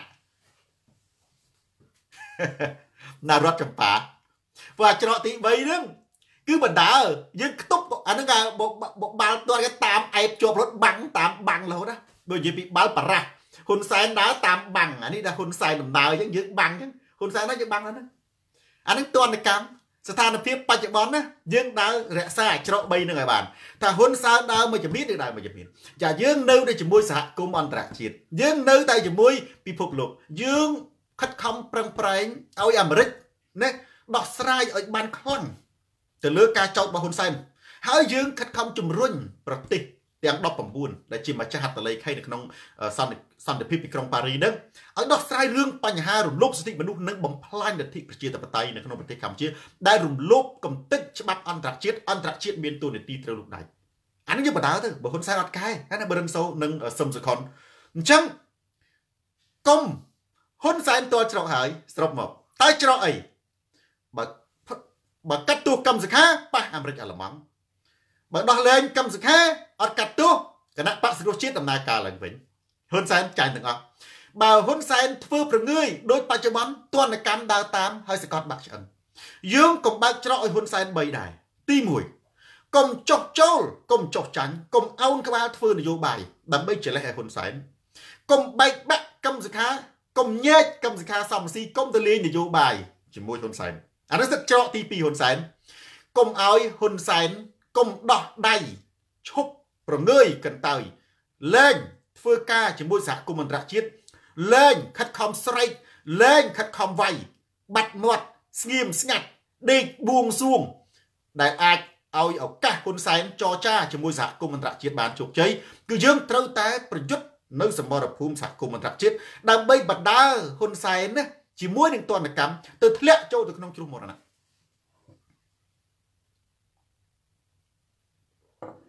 ប្រធានបទទី3ដាច់ពីនេះបន្តិចប្រិយមិត្តអានេះគឺសំខាន់ណាស់ share វីដេអូនេះទៅកាន់ប្រិយមិត្តដទៃទៀតទូរទស្សន៍សូនតារាទៅដល់ទីណា ការផ្លាស់ប្ដូរផ្នែកគំនិតទៅដល់ទីនោះកូននេះនិងសែមវិទ្រីការផ្លាស់ប្ដូរផ្នែកគំនិតទៅដល់ទីណា ការយល់ដឹងទៅដល់ទីនោះការយល់ដឹងទៅដល់ទីណាហ៊ុនសែនចប់ទៅដល់ទីនោះក្រឡាហ៊ុនសែននៅលើបាតដៃសូនតារាហ៊ុនសែនលេងបានឈ្នះបានតពលពតទេប៉ុន្តែអត់ឈ្នះសូនតារាទេ ហ៊ុនសែនឈ្នះបានតែឃីវសំផនទេតែអត់ឈ្នះសូនតារាទេហ៊ុនសែនឈ្នះបានតែតមុកនួនជីទេប៉ុន្តែហ៊ុនសែននឹងចាញ់ក្រោមកណ្ដាប់ដីកណ្ដាប់ដៃសូនតារាហើយមិនមែនខ្ញុំទៅបង្ក្រាបហ៊ុនសែនទេឲ្យបងប្អូនដឹងការពិតជ្រកក្រោមផ្លាកគណៈបកសង្គ្រោះជាតិទៅអត់ទេអញ្ចឹងអ្វីដែលហ៊ុនសែនគូសផ្លូវដែលអាចដើរទៅមុខឈ្នះនឹងដែលបងប្អូនប្រុងយកកទៅចូលតាក់ហ្នឹងណា សូនតារាបើកភ្លើង7លើឃើញទៅអូអានឹងតាក់ងាកកចេញមកវិញងាប់ហ៊ុនសែនឥឡូវចំណុចទី3ខ្ញុំប្រធានបទថ្មីថ្មីនេះខ្ញុំដាក់ថាណែទេវបុត្រមកស្រស់សុកអេសានតួស្របដាច់ជោបោកពូស៊ីក្លោខ្ញុំនិយាយរឿងថាសុកអេសានចន្ទរិទ្ធីតួស្របយ៉ាងម៉េចយ៉ាងនឹងមុនចុះ តួស្របនឹងថាស្អីក៏ស្របដែរបងប្អូនស្អីក៏ស្របដែរបើយើងប្រឆាំងទៅនឹងការកាប់បំផ្លាញព្រៃឈើឧទាហរណ៍សុកអេសានគេស្របទៅនឹងការកាប់បំផ្លាញព្រៃឈើគេថាកាប់បំផ្លាញព្រៃឈើគឺជាការអភិវឌ្ឍជាតិរកការងារឲ្យប្រជាជនអាអាហ្នឹងចឹងបើយើងថា ហ៊ុនសែនអត់សមត្ថភាពបង្កើតការងារប្រជាជនចំណាក់ស្រុករាប់លានអ្នកទៅថៃទៅកូរ៉េសុកអេសានគាត់ថាអាចំណាក់ស្រុកនឹងគឺដោយសារតែប្រទេស មានការអភិវឌ្ឍមានសុខសន្តិភាពណែវាទៅជាចែកអានោះស្របស្របទៅទៀតហើយបងប្អូនអញ្ចឹងមានន័យថាប្រទេសថៃប្រទេសសិង្ហបុរី ប្រទេសក្រតែបងគៀងហ៊ូមិនចឹងចុះវាអត់ចេះចំណាក់ស្រុកហើយនេះយ៉ំយ៉ាន់ដល់តែយើងថាការសម្លាប់មនុស្សនៅផ្លូវវែងស្រេង គឺជាបទឧក្រិដ្ឋអំពើរំលោភសិទ្ធិមនុស្សសុកសានគាត់ថា ការសម្លាប់មនុស្សនៅផ្លូវវែងស្រេង គួរតែត្រូវបាន លើកទឹកចិត្តទទួលរង្វាន់ស្របស្របទៀតស្របទៀតប្រិយមិត្ត បើយូរយូរទៅណាដែលខ្ញុំជាតែសង្ស័យទេមាត់ទោសខ្ញុំមិនដាក់បដាសាទេអានេះខ្ញុំមើលទៅទ្រឹស្ដីស្របរបស់សុកសានទេមែនទេចៃដន្យស្រាប់តែគាត់បងប្អូនកូនគាត់ឧទាហរណ៍ចឹងទៅសាច់ញាតិគាត់ទៅចុះកុំថាចឹងសាច់ញាតិគាត់ណែបែកកង់ឡានកលាប់ឆ្លាប់ធ្លាក់នៅពេជ្រនិលអានឹងបែបសុកអេសានគាត់និយាយថា វាគឺជាសំណាងណាស់ដែលបានស្លាប់បំរើយាយម៉ៅអានឹងវាមិនអញ្ចឹងណាពួកសុកអេសានក៏ដាច់បកស្រាយថាតើមាននរណាមានជោគវាសនាស្លាប់ក្បែរខ្ទមយាយម៉ៅដែលបានហូបចេកហើយគេសែនលុយរាល់ថ្ងៃនៅយាយម៉ៅមិនគេយកចេកគេយកធូបសែនរាល់ថ្ងៃអ្នកខ្លះស្លាប់នៅកន្លែងផ្សេងយើងសំណាងណាស់ដែលបានស្លាប់នៅកន្លែងយាយម៉ៅមានបរិស្ថានល្អមានគេគោរពរាប់អានហើយធ្វើកូនចៅយាយម៉ៅអឺ ចុះអានឹងវាស្របទៅចឹងហើយមិនចឹងណារហូតដល់ថ្ងៃក្រោយស្របទៀតស្របទៀតដល់តែពេលសុកអេសានគាត់កើតជំងឺសម្ពាធឈាមដល់តែគាត់លឺឈាមម៉ាំងទៅងប់បាច់ជំនាញខ្លួនមែនទេប៉ុន្តែនៅនិយាយរួចពេលនឹងសុកអេសានក៏អាចនិយាយថា វាគឺជាការសម្រាកពីព្រោះខ្ញុំបំរើជាតិមួយជីវិតហើយមែនទេ ឥឡូវនេះខ្ញុំមិនអាចបំរើជាតិខ្លួនប្រានទាំងមូលបានទេខ្ញុំសុំសម្រាប់ខ្លួនប្រានមកចំហៀងហើយខ្ញុំបំរើតែខ្លួនប្រានមកចំហៀងបានហើយបងប្អូនឃើញទេមើលដៃខ្ញុំបងប្អូនយកកបិតមកអាមក៏អត់ដឹងដែរមិនមែនខ្ញុំងាប់មកចំហៀងខ្លួនទេគឺខ្ញុំសម្រាប់មកចំហៀងខ្លួន បងប្អូនមិនអាណិតអាសូរខ្ញុំដែលខិតខំបំរើគណៈបកនិងបំរើជាតិនេះ ចិត្តមួយជីវិតទៅហើយប្រុងមិនឲ្យខ្ញុំសម្រាប់សោះហើយយ៉ាងម៉េចស្របទៀតស្របទៀតអាដល់ពេលអញ្ចឹងគេថាអឺអាសៀនសវណ្ណរិទ្ធសបុលខនរីខ្ញុំមកថាអញ្ចឹងណាគាត់ថាអូបងប្អូនធ្លាក់ជ្រោះពេជ្រនិលស្លាប់ហើយអឺអានឹងល្អនៅចិត្តជ័យម៉ៅបានបនហើយសាធុសាធុបាទអូបាត់បាញ់បាតកោស្លាប់នៅផ្លូវវែងស្រីអាយើងប្រឆាំងអក្រិតកម្មគាត់ថាអានឹងសមឲ្យរង្វាន់អឺអ្នកមោតស័ក ហើយដល់ខ្លួនឯងងាប់ឲ្យជំហៀងខ្លួនថាអឺខ្ញុំធ្វើការយូរហើយឥឡូវសុំធ្វើមកកណាត់ខ្លួនមកកណាត់ទៀតសម្រាប់សាធុទៅគៀនចឹងទៅអានឹងតួស្របនិយាយរឿងសុកបិសានទេបាទឥឡូវចប់ខណ្ឌមករឿងសម្ដេចតេជោបោកពូស៊ីក្លូថ្ងៃនេះខ្ញុំបានឃើញព្រឹត្តិការណ៍ជាច្រើនខ្ញុំតាមដាន មានអ្នកខ្លះ គាត់ផ្ញើសារមកខ្ញុំហើយច័ន្ទវាសនាគេថានេះអាឆ្កែរត់ចោលស្រុកមួយថ្ងៃមួយថ្ងៃឃើញតែនិយាយដើមសម្ដេចអានេះ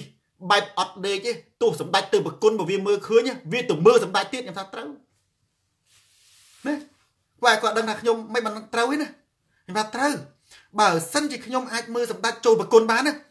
ខ្ញុំនឹងដឹងថាតើគាត់ចូលប្រគុណធម្មតាឬក៏ប្រគុណពីការ នៅក្នុងប្រិយមិត្តនៅខ្មែរយើងអត់មានស្តង់ដារប្រគុណពីការបើនៅអាមេរិកនៅបារាំងនៅសិង្ហបុរីនៅថៃប្រហែលជាមានប្រគុណធម្មតាគឺយើងចូលទៅអង្គុយមកអាប្រគុណពីការគឺវាមានដៃទប់វាមានឧបករណ៍ជួយដែលយើងឈរគេខ្លាចដួលគេខ្លាចរអិលពុរអិលទៅវាអាចបាក់ដៃបាក់នេះណាខ្ញុំក៏ចង់ដឹងដែរបើសិនជាដែលចូលគាត់ចូលប្រគុណតើគាត់ចូលប្រគុណធម្មតាឬក៏ពីប្រគុណជនពិការនៅស្រុកយើងអត់មានទេ អត់ខ្ញុំប្រហែលជាមាននៅតាមសន្តាគារតាមសន្តាគារធំធំណាប៉ុន្តែបងប្អូននៅថៃនៅកូរ៉េអីប្រគុណគេមានពីរណាគេមានប្រគុណប្រុសប្រគុណស្រីនិងប្រគុណពិការប្រគុណពិការគេដាក់រូបអាទេសហើយប្រគុណពិការហ្នឹងណាដាលីអ៊ុយគេបំពាក់ឧបករណ៍លើសពីធម្មតា ជួយតោងជួយកម្លាំងមនុស្សខ្ញុំចង់មើលអានោះដែរបើគាត់ចង់និយាយថាចេះអនិច្ចាមេត្តភូមិខ្ញុំនឹងកងទូច គាត់ចង់និយាយថាអេចុះសូនតារានឹងអាសម្ដេចធ្វើស្អីក៏មើលលីមើលមើលខ្ញុំមើលទាំងអស់ខ្ញុំមើលទាំងអស់អញ្ចឹងថ្ងៃនេះដែលខ្ញុំថាដាច់ជោបោកពូស៊ីក្លូចំណុចទី1ប្រិយមិត្តមុននឹងយើងមើលទៅលើថាដាច់ជោបោកពូស៊ីក្លូសាមិតយើងមើលទស្សនវិជ្ជាអ្នកធាក់ស៊ីក្លូ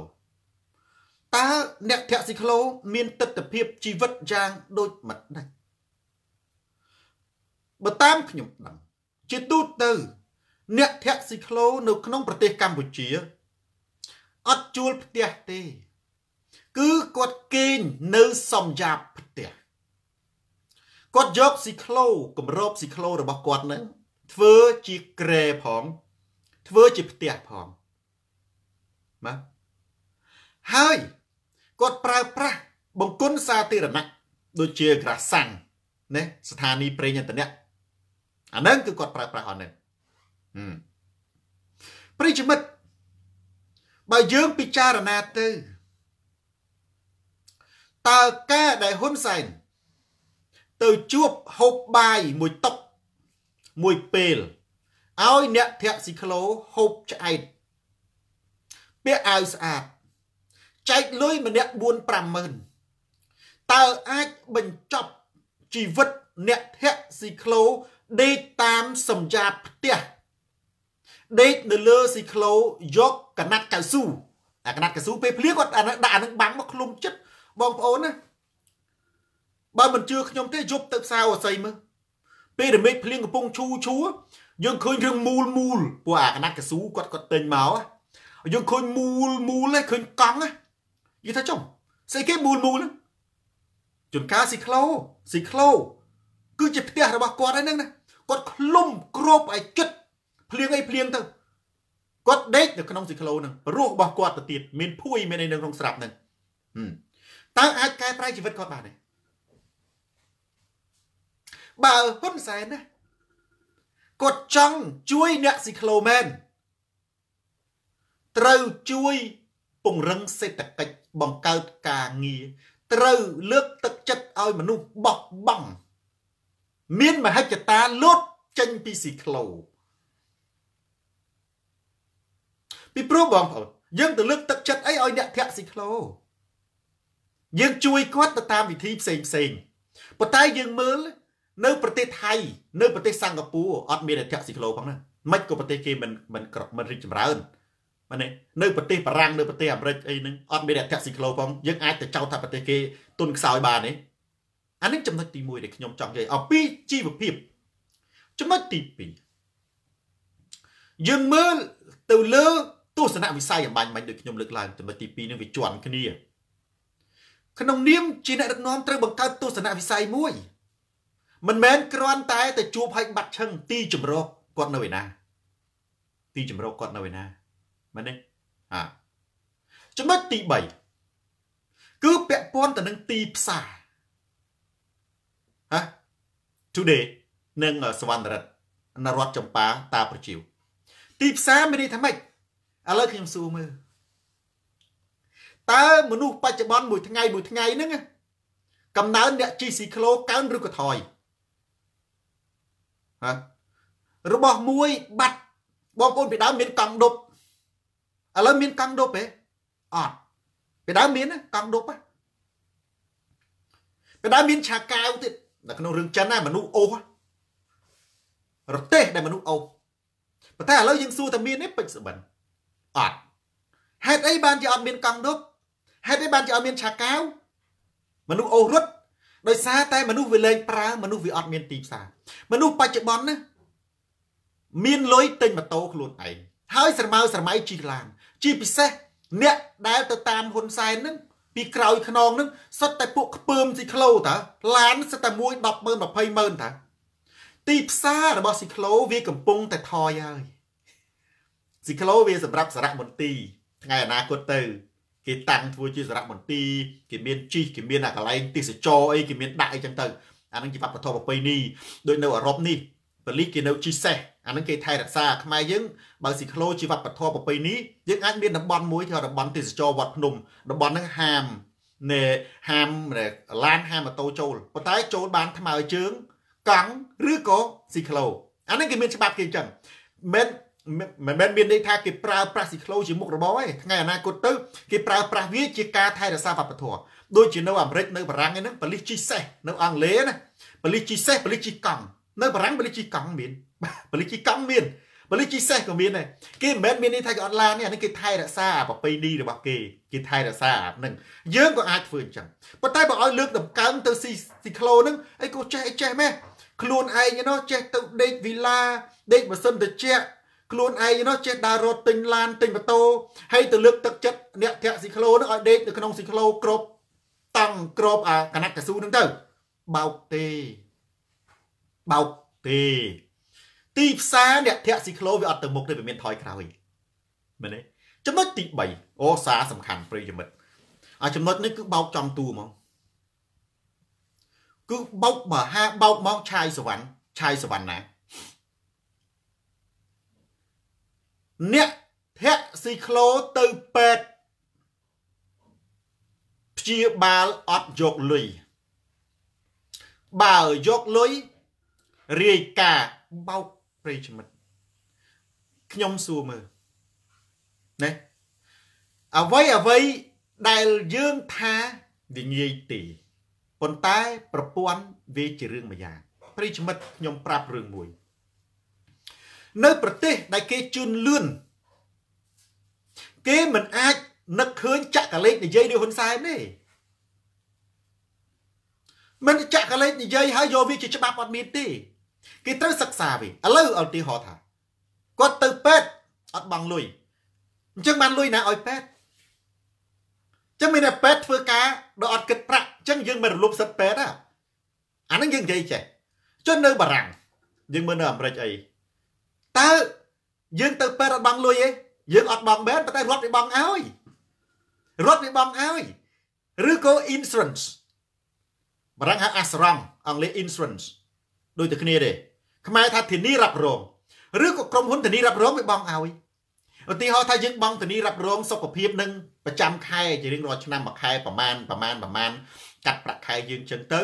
នៅពេលដែលយើងឈឺកម្រិតវាមានអាធានារ៉ាប់រងវាមានច្បាប់របស់វាឧទាហរណ៍ច្បាប់ទាំងស្រុងឬក៏ច្បាប់ចេញប៉ុណ្ណេះលើកលែងតែឯងឈឺអស់ពី1000ដុល្លារឡើងទៅអានឹងបានធានារ៉ាប់រងក្រោម1000ដុល្លារអានឹងខ្លួនឯងឧទាហរណ៍ទៅចេះ នេះឬបើនៅបារាំងនេះអត់មានទេនៅបារាំងគឺគេកាត់អូតូម៉ាទិកហ្មងគឺកាត់គឺចូលកាត់គេហៅថាសន្តិសុខសង្គមសម្រាប់ព្យាបាលប្រាក់ខែរបស់យើងហ្នឹងបើថាមក2000ហ្នឹងនៅសល់1200នេះគេកាត់អស់800ហើយ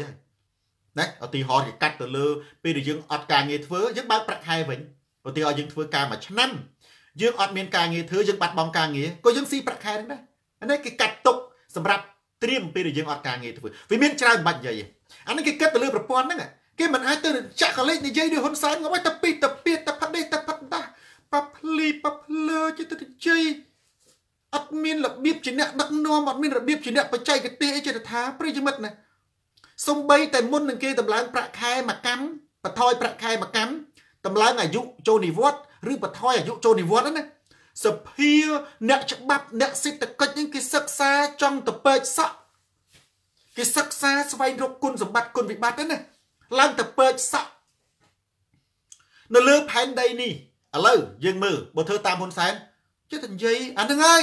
ប្រជាពិធបោកប្រាស់បោកដៅបោកគេតែប៉ះសូនតារាថ្ងៃនេះភ្លឺដូចកញ្ចក់ប្រិយមិត្ត share វីដេអូនេះទៅកាន់ប្រិយមិត្តដទៃទៀតកុំច្រឡំណានៅបារាំងព្យាបាលសូនតារាទៅពេទ្យអត់លុយខ្ញុំទៅអត់លុយនេះ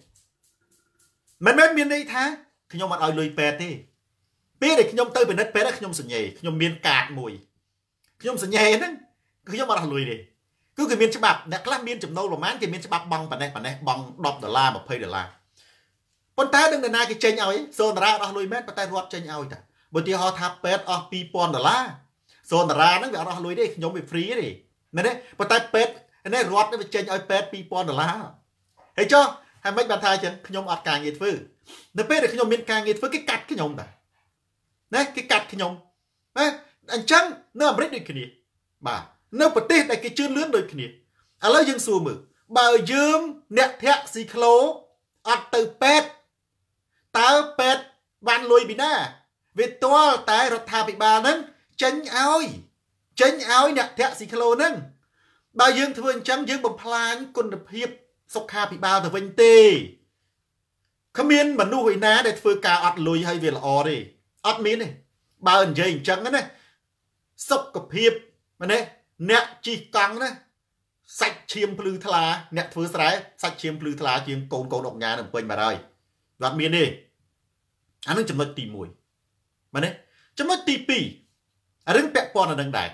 យើងអត់មានអាការគិតនឹងឥឡូវខ្ញុំសួរមើលមែនទេបើសិនជានរណានរណាក៏ជាអ្នកធាក់ស៊ីក្លូតើមានអីសំអាង មានអីសំអាង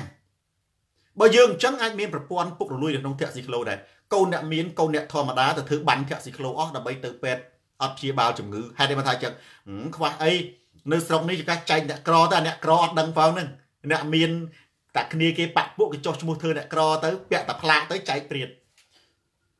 ចុះបើមនុស្សទាំងអស់គ្នាសិតតែអ្នកធាក់ស៊ីក្លូពេញភ្នំពេញដល់មិនទៅអ្នកធាក់ស៊ីក្លូការពិតមានតែ10000នាក់ស្រាប់តែឮថាព្យាបាលអត់គិតថ្លៃអញ្ចឹងអ្នកធាក់ស៊ីក្លូឡើង100000នាក់ តើពេទ្យបានលុយអីណាបើទប់ទល់ថ្លៃថ្នាំថ្លៃសេវាកម្ម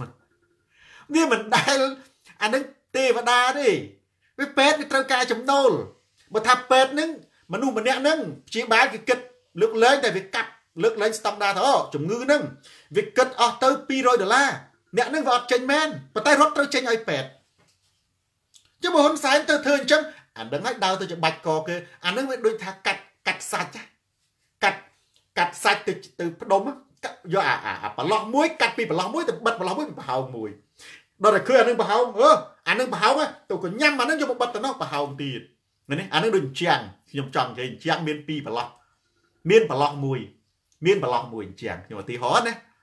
ហ៊ុនសែនអត់ត្រូវយកអីមកបិទទេទៅអាអញ្ជាងមួយទៀតយកមកបិទដល់អាអញ្ជាងមួយបិទអានេះចិត្តប្រហោងអានោះប្រហោងអានោះហើយចឹងហេអានោះប្រហោងហ៎បើ ហេឥឡូវអាមួយទៀតអាមួយទៀតទៅបិទអាអញ្ជាងខាងឆ្វេងម្ដងទាញមកបិទមកងាកទៅហាប្រហោងអានោះទៀតហើយហេតើអានោះទៀតហេទាញអានោះមកវិញទាញអានោះមកបិទអានេះពុបផ្ទះដៃងាកទៅអញប្រហោងអានោះទៀតឈួតឲ្យសនតារាដឹកនាំក៏ល្អជាងដែរគាត់តែប៉ុណ្ណឹងនោះបរិយដោយសារអីមនុស្សអត់យកឆន្ទៈជាតិជាធំមនុស្សយកអាអារឿងបុគ្គលផ្ទាល់ខ្លួនធ្វើធំ អានឹងវាមិនចឹងណាវាមិនចឹងឥឡូវយើងសួរមើលបើសិនជាអ្នកនឹងជាតាស៊ីក្លូឬក៏ពូស៊ីក្លូតែว่าវាអាចបណ្ដាលឲ្យពេទ្យរឿងអើងរឹតតែលើសធ្ងន់តែពេទ្យខ្លាចម្នាក់ម្នាក់ភ័យចុះមកមើលមុខរឿងតំណងតំណងចុំអានឹងតិចតាស៊ីក្លូហ្នឹងភ័យមិនវត្តលុយអញ្ចឹងណាបើហ៊ុនសែនគាត់និយាយចិត្តត្រូវគាត់និយាយថាឥឡូវ មើលមូលនិធិស៊ីក្លូសមាគមស៊ីក្លូតើយើងមានសមាជិកប្រមាណអ្នកទូទាំងរាជធានីភ្នំពេញឲ្យប្រធានសមាគមស៊ីក្លូនឹងរាយការណ៍សមាជិកប្រាប់ហ៊ុនសែនអានឹងគាត់ធ្វើចឹងត្រូវអញ្ចឹងគេរាយការណ៍អ្នកដែលសមាគមសមាជិកសមាគមអ្នកធាក់ស៊ីក្លូនៅក្នុងរាជធានីភ្នំពេញមានចំនួន10000នាក់អញ្ចឹងហ៊ុនសែនក៏ថាឥឡូវនេះ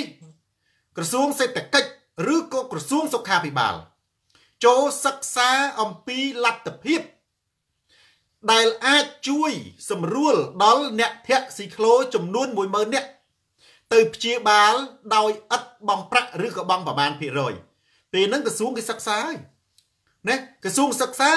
គេអាចធ្វើវិភាគទៅឃើញថាតើក្រសួងត្រូវចំណាយប៉ុន្មាន ក្នុងមួយឆ្នាំចំណាយវាមិនមែនទៅបញ្ជាថាជាបានអត់លុយអត់លុយប្តឹងអញអានោះគឺលើកទឹកចិត្តឲ្យមនុស្សខូចចា ដូចថាទៅវាយវាហើយនោះមកប្តឹងអញមករាយការណ៍ប្រាប់អញដល់តែពេលអញ្ចឹងប្រិយមិត្តហើយចុះយើងឲ្យអ្នកធាក់ស៊ីក្លូ10នាក់មួយថ្ងៃបើថ្ងៃបើអ្នកធាក់ស៊ីក្លូ10នាក់ទូរស័ព្ទទៅហ៊ុនសែនហ៊ុនសែនហ្នឹងក៏ក៏ងាប់មកជំនាញខ្លួនមកវាទៅវាទៅជាស្លាប់មកជំនាញខ្លួនគាត់តែគេរាយការណ៍ហ្នឹងបាត់ហើយបោកទេបងប្អូនថាបោកទេបោកទេអាទាំងអស់ហ្នឹងគឺបោកពូស៊ីក្លូខ្ញុំគ្រាន់តែផ្ដាំទៅចេះទៅមេងហេងញ៉ានេះ យើងខិតខំធ្វើការដើម្បីកិច្ចផុតអំពីជីវិតស៊ីក្លូបាទបាទកុំជួតាមហ៊ុនសែនហើយធ្វើការកុំលួចប្រើគ្រឿងញៀនកុំចាយប្រេះផ្ដាស់ទៅលើគ្រឿងស្រវឹងហ្នឹងហើយហើយបើបងប្អូនធ្វើការផឹកគ្រឿងស្រវឹងដេកមូសផ្ទះមូសនៅកដាលភ្លៀងក្រោមតាយ៉ាផ្ទះអានឹងទៅពេទ្យពេទ្យទទួលមិនអស់ទេហើយបើទៅប្តឹង ក៏ហ៊ុនសែនស្លាប់មកជំហៀងខ្លួនដែរគ្រាន់តែទូរស័ព្ទគ្រាន់តែទទួលទូរស័ព្ទនោះណាណាហើយអានឹងគឺវាអយុត្តិធម៌នៅក្នុងសង្គមបើពេទ្យមួយថ្ងៃមួយថ្ងៃអ្នកតាក់ស៊ីក្លូទៅតើពេទ្យវាបានចំណូលពីណាមកនៅលើពិភពលោកយើងនេះប្រជាជនអត់បង់លុយឲ្យពេទ្យមែនប៉ុន្តែរដ្ឋវាបង់ឲ្យពេទ្យគេមានគ្រោងថវិកាចំណាយអានឹងច្បាស់លាស់គេមិនដែលទៅធ្វើអីតាមចក្រលេខឬហ៊ុនសែនទេអញ្ចឹងបងប្អូន នេះជាយោបល់របស់ខ្ញុំខិតខំនេះបើយើងត្រូវតាំងចិត្តថាបើអញធាក់ស៊ីក្លូហើយណាអញត្រូវតែឲ្យកូនអញនឹងជិះឡានបើអញធាក់ស៊ីក្លូហើយអញត្រូវបដិញ្ញាចិត្តថានេះមិនយូរទេតែ5ឆ្នាំអញឈប់ហើយអញបង្កើតមុខរបរថ្មីកុំលងលក់ជាមួយនឹងប្រជាពិធរបស់ហ៊ុនសែនឲ្យបងប្អូនធាក់ស៊ីក្លូឯចំណែកបាក់ពួកហ៊ុនសែនដែលនៅជុំវិញនឹងគេជិះសិតឡាន100000មួយលានដុល្លារហើយនឹង ហើយយើងនៅធាក់ស៊ីក្លូស្អីទៀតរើបំរាស់ទេរើបំរាស់ទេប្រជាពិធទេ មុននឹងបញ្ចប់ប្រិយមិត្តខ្ញុំចាប់អារម្មណ៍មួយខ្ញុំឃើញត្រីភិបនៅពីក្រោយហ៊ុនសែនរហូត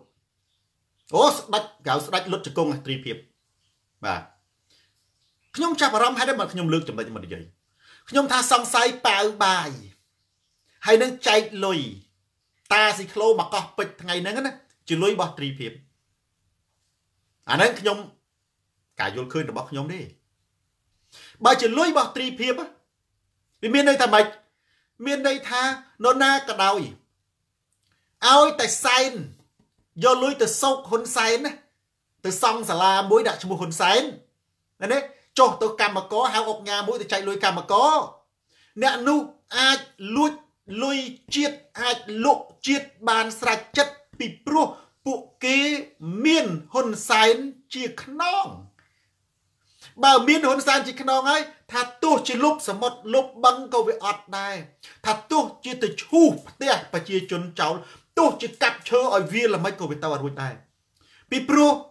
ពួកគេមានហ៊ុនសែនជាខ្នងអញ្ចឹងបើមានហ៊ុនសែនជាខ្នងហ៊ុនសែននៅពីក្រោយខ្នង ការលុបបឹង លុបសមុទ្រការចាប់ប្រជាជនដាក់គុកម្ចាស់ផ្ទះការកាប់បំផ្លាញព្រៃឈើការកាប់រ៉ែហើយមិនថាអញ្ចឹងពីព្រោះយើងមើលជាក់ស្ដែងឃើញត្រីភិបគេហៅថាល្បីខាងកាប់ឈើពាយបងគៀងហ៊ូល្បីកាប់ឈើពាយប៉ុន្តែទៅឃើញដើរនៅក្រៅហ៊ុនសែនហើយបើហ៊ុនសែនយកយកពួកបំផ្លាញជាតិកាប់ឈើបំផ្លាញជាតិទូទាំងប្រទេសហ្នឹងណាទៅអញ្ចឹងហើយទៅឲ្យគេ ការពារព្រៃឈើយ៉ាងម៉េចទៅបង្ក្រាបព្រៃឈើយ៉ាងម៉េចបើជន់ល្មើសបង្ក្រាបបើជន់ល្មើសព្រៃឈើហ្នឹងជាដៃរបស់ហ៊ុនសែនហើយបោកទេបាទប្រិយមិត្តអាលីអានីសានិងសារ៉ាអ៊ុំអឹមប្រិយមិត្ត share វីដេអូនេះទៅកាន់ប្រិយមិត្តដទៃទៀតមេងហេងទូរទស្សន៍សូនតារាទៅដល់ទីណាការផ្លាស់ប្ដូរផ្នត់កំណត់ទៅដល់ទីនោះការផ្លាស់ប្ដូរផ្នត់កំណត់ទៅដល់ទីណាសុទ្ធសារ៉េតស័កការយល់ដឹងទៅដល់ទីនោះ ការយល់ដឹងទៅដល់ទីណាហ៊ុនសែនចប់ទៅដល់ទីនោះស្ដាប់សូនតារាកើនបញ្ញាស្ដាប់ខឹមវិសនាកើតខូក្បាលនេះស្ដាប់ហ៊ុនសែនកើតរោគចិត្តប្រិយមិត្តយើងឈានចូលទៅដល់វគ្គផ្សេងផ្សេងនិងសំណួរចម្លើយសារ៉ាអ៊ុំត្រូវខ្លាំងណាស់ចំណុចនេះបាទសុកចន្ទាស្អែកលក់ឡានចេញទិញស៊ីក្លូ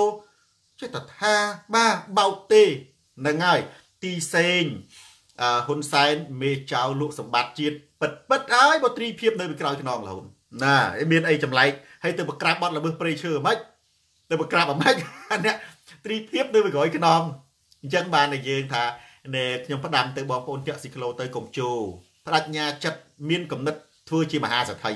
អ្នកធាក់ស៊ីក្លូក៏អាចคล้ายទៅជាមហាសេដ្ឋីបានដែរយើងមើលប្រវត្តិមហាសេដ្ឋីខ្លះដើររើសអេតចាយ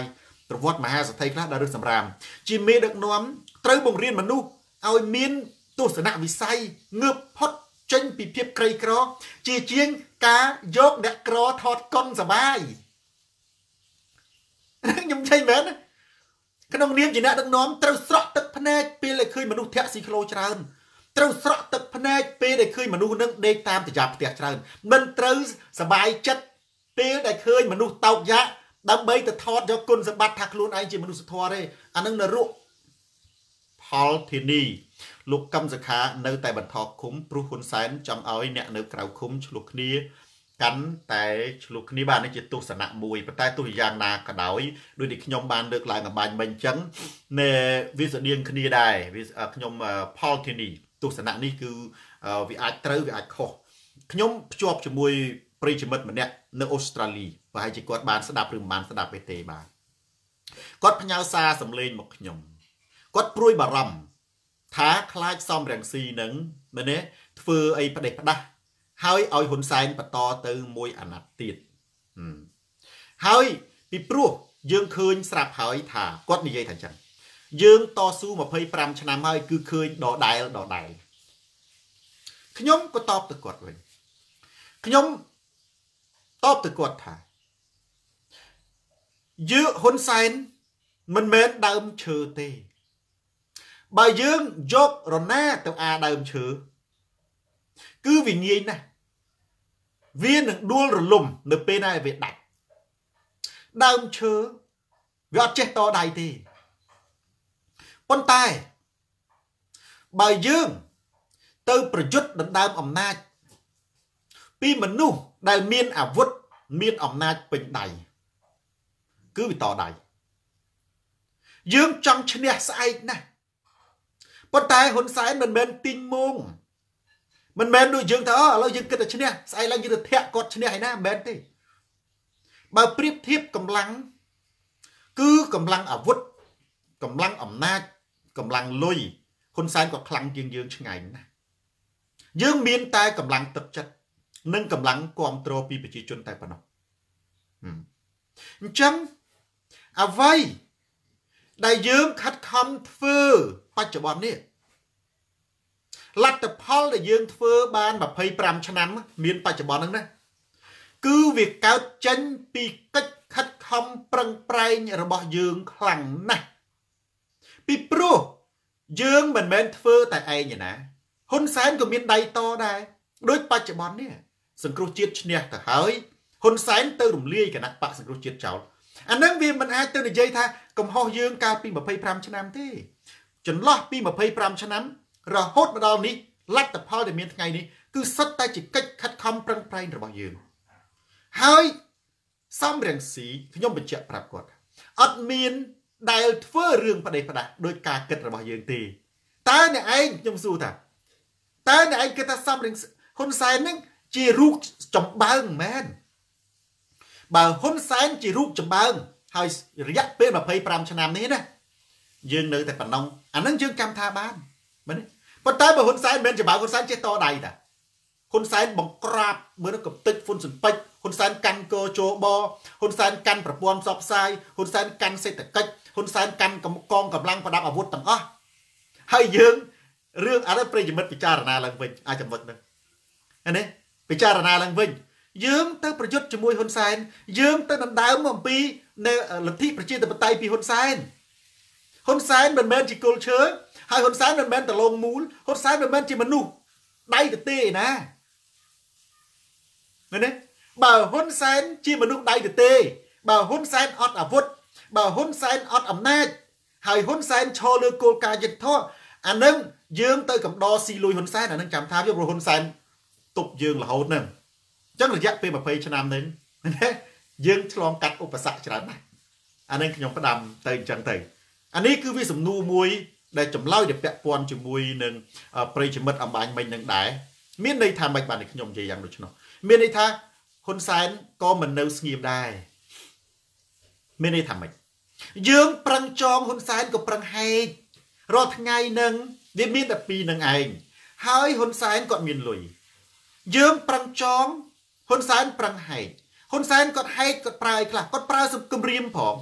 គាត់ប្រើសំឡុតផង គាត់ទិញផងគាត់ប្រើច្បាប់ផងច្បាប់ហ៊ុនសែនមានដើម្បីហែកហ៊ុនសែនប្រើលុយទៅទិញបេញធិញ10 100,000ដុល្លារហ្នឹងអាហ្នឹងមិនដើម្បីហែកហ៊ុនសែនប្រើលុយទៅគម្រាមបញ្ចុះបញ្ចូលឲ្យក្រុមមកជ្រួតជ្រើមទៅដាក់សិទ្ធធ្វើនយោបាយហ្នឹងអាហ្នឹងមិនដើម្បីហែកចុះយើងយើងចង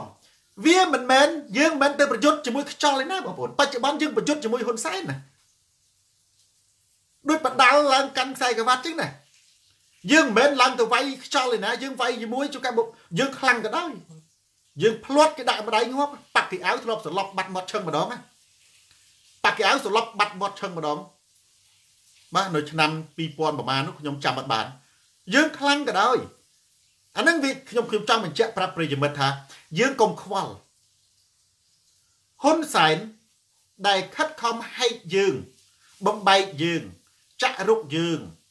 ឲ្យយើងឆ្លោះគ្នា បង្កើតរូបភាពឆ្លោះคล้ายคล้ายបញ្ជូនដល់ក្រុមអាត្រឹមត្រូវឬក៏ធ្វើឲ្យគ្នាយើងមួយចំនួនល្ងងខ្លៅចាញ់បោកណាអានឹងជារឿងម្យ៉ាង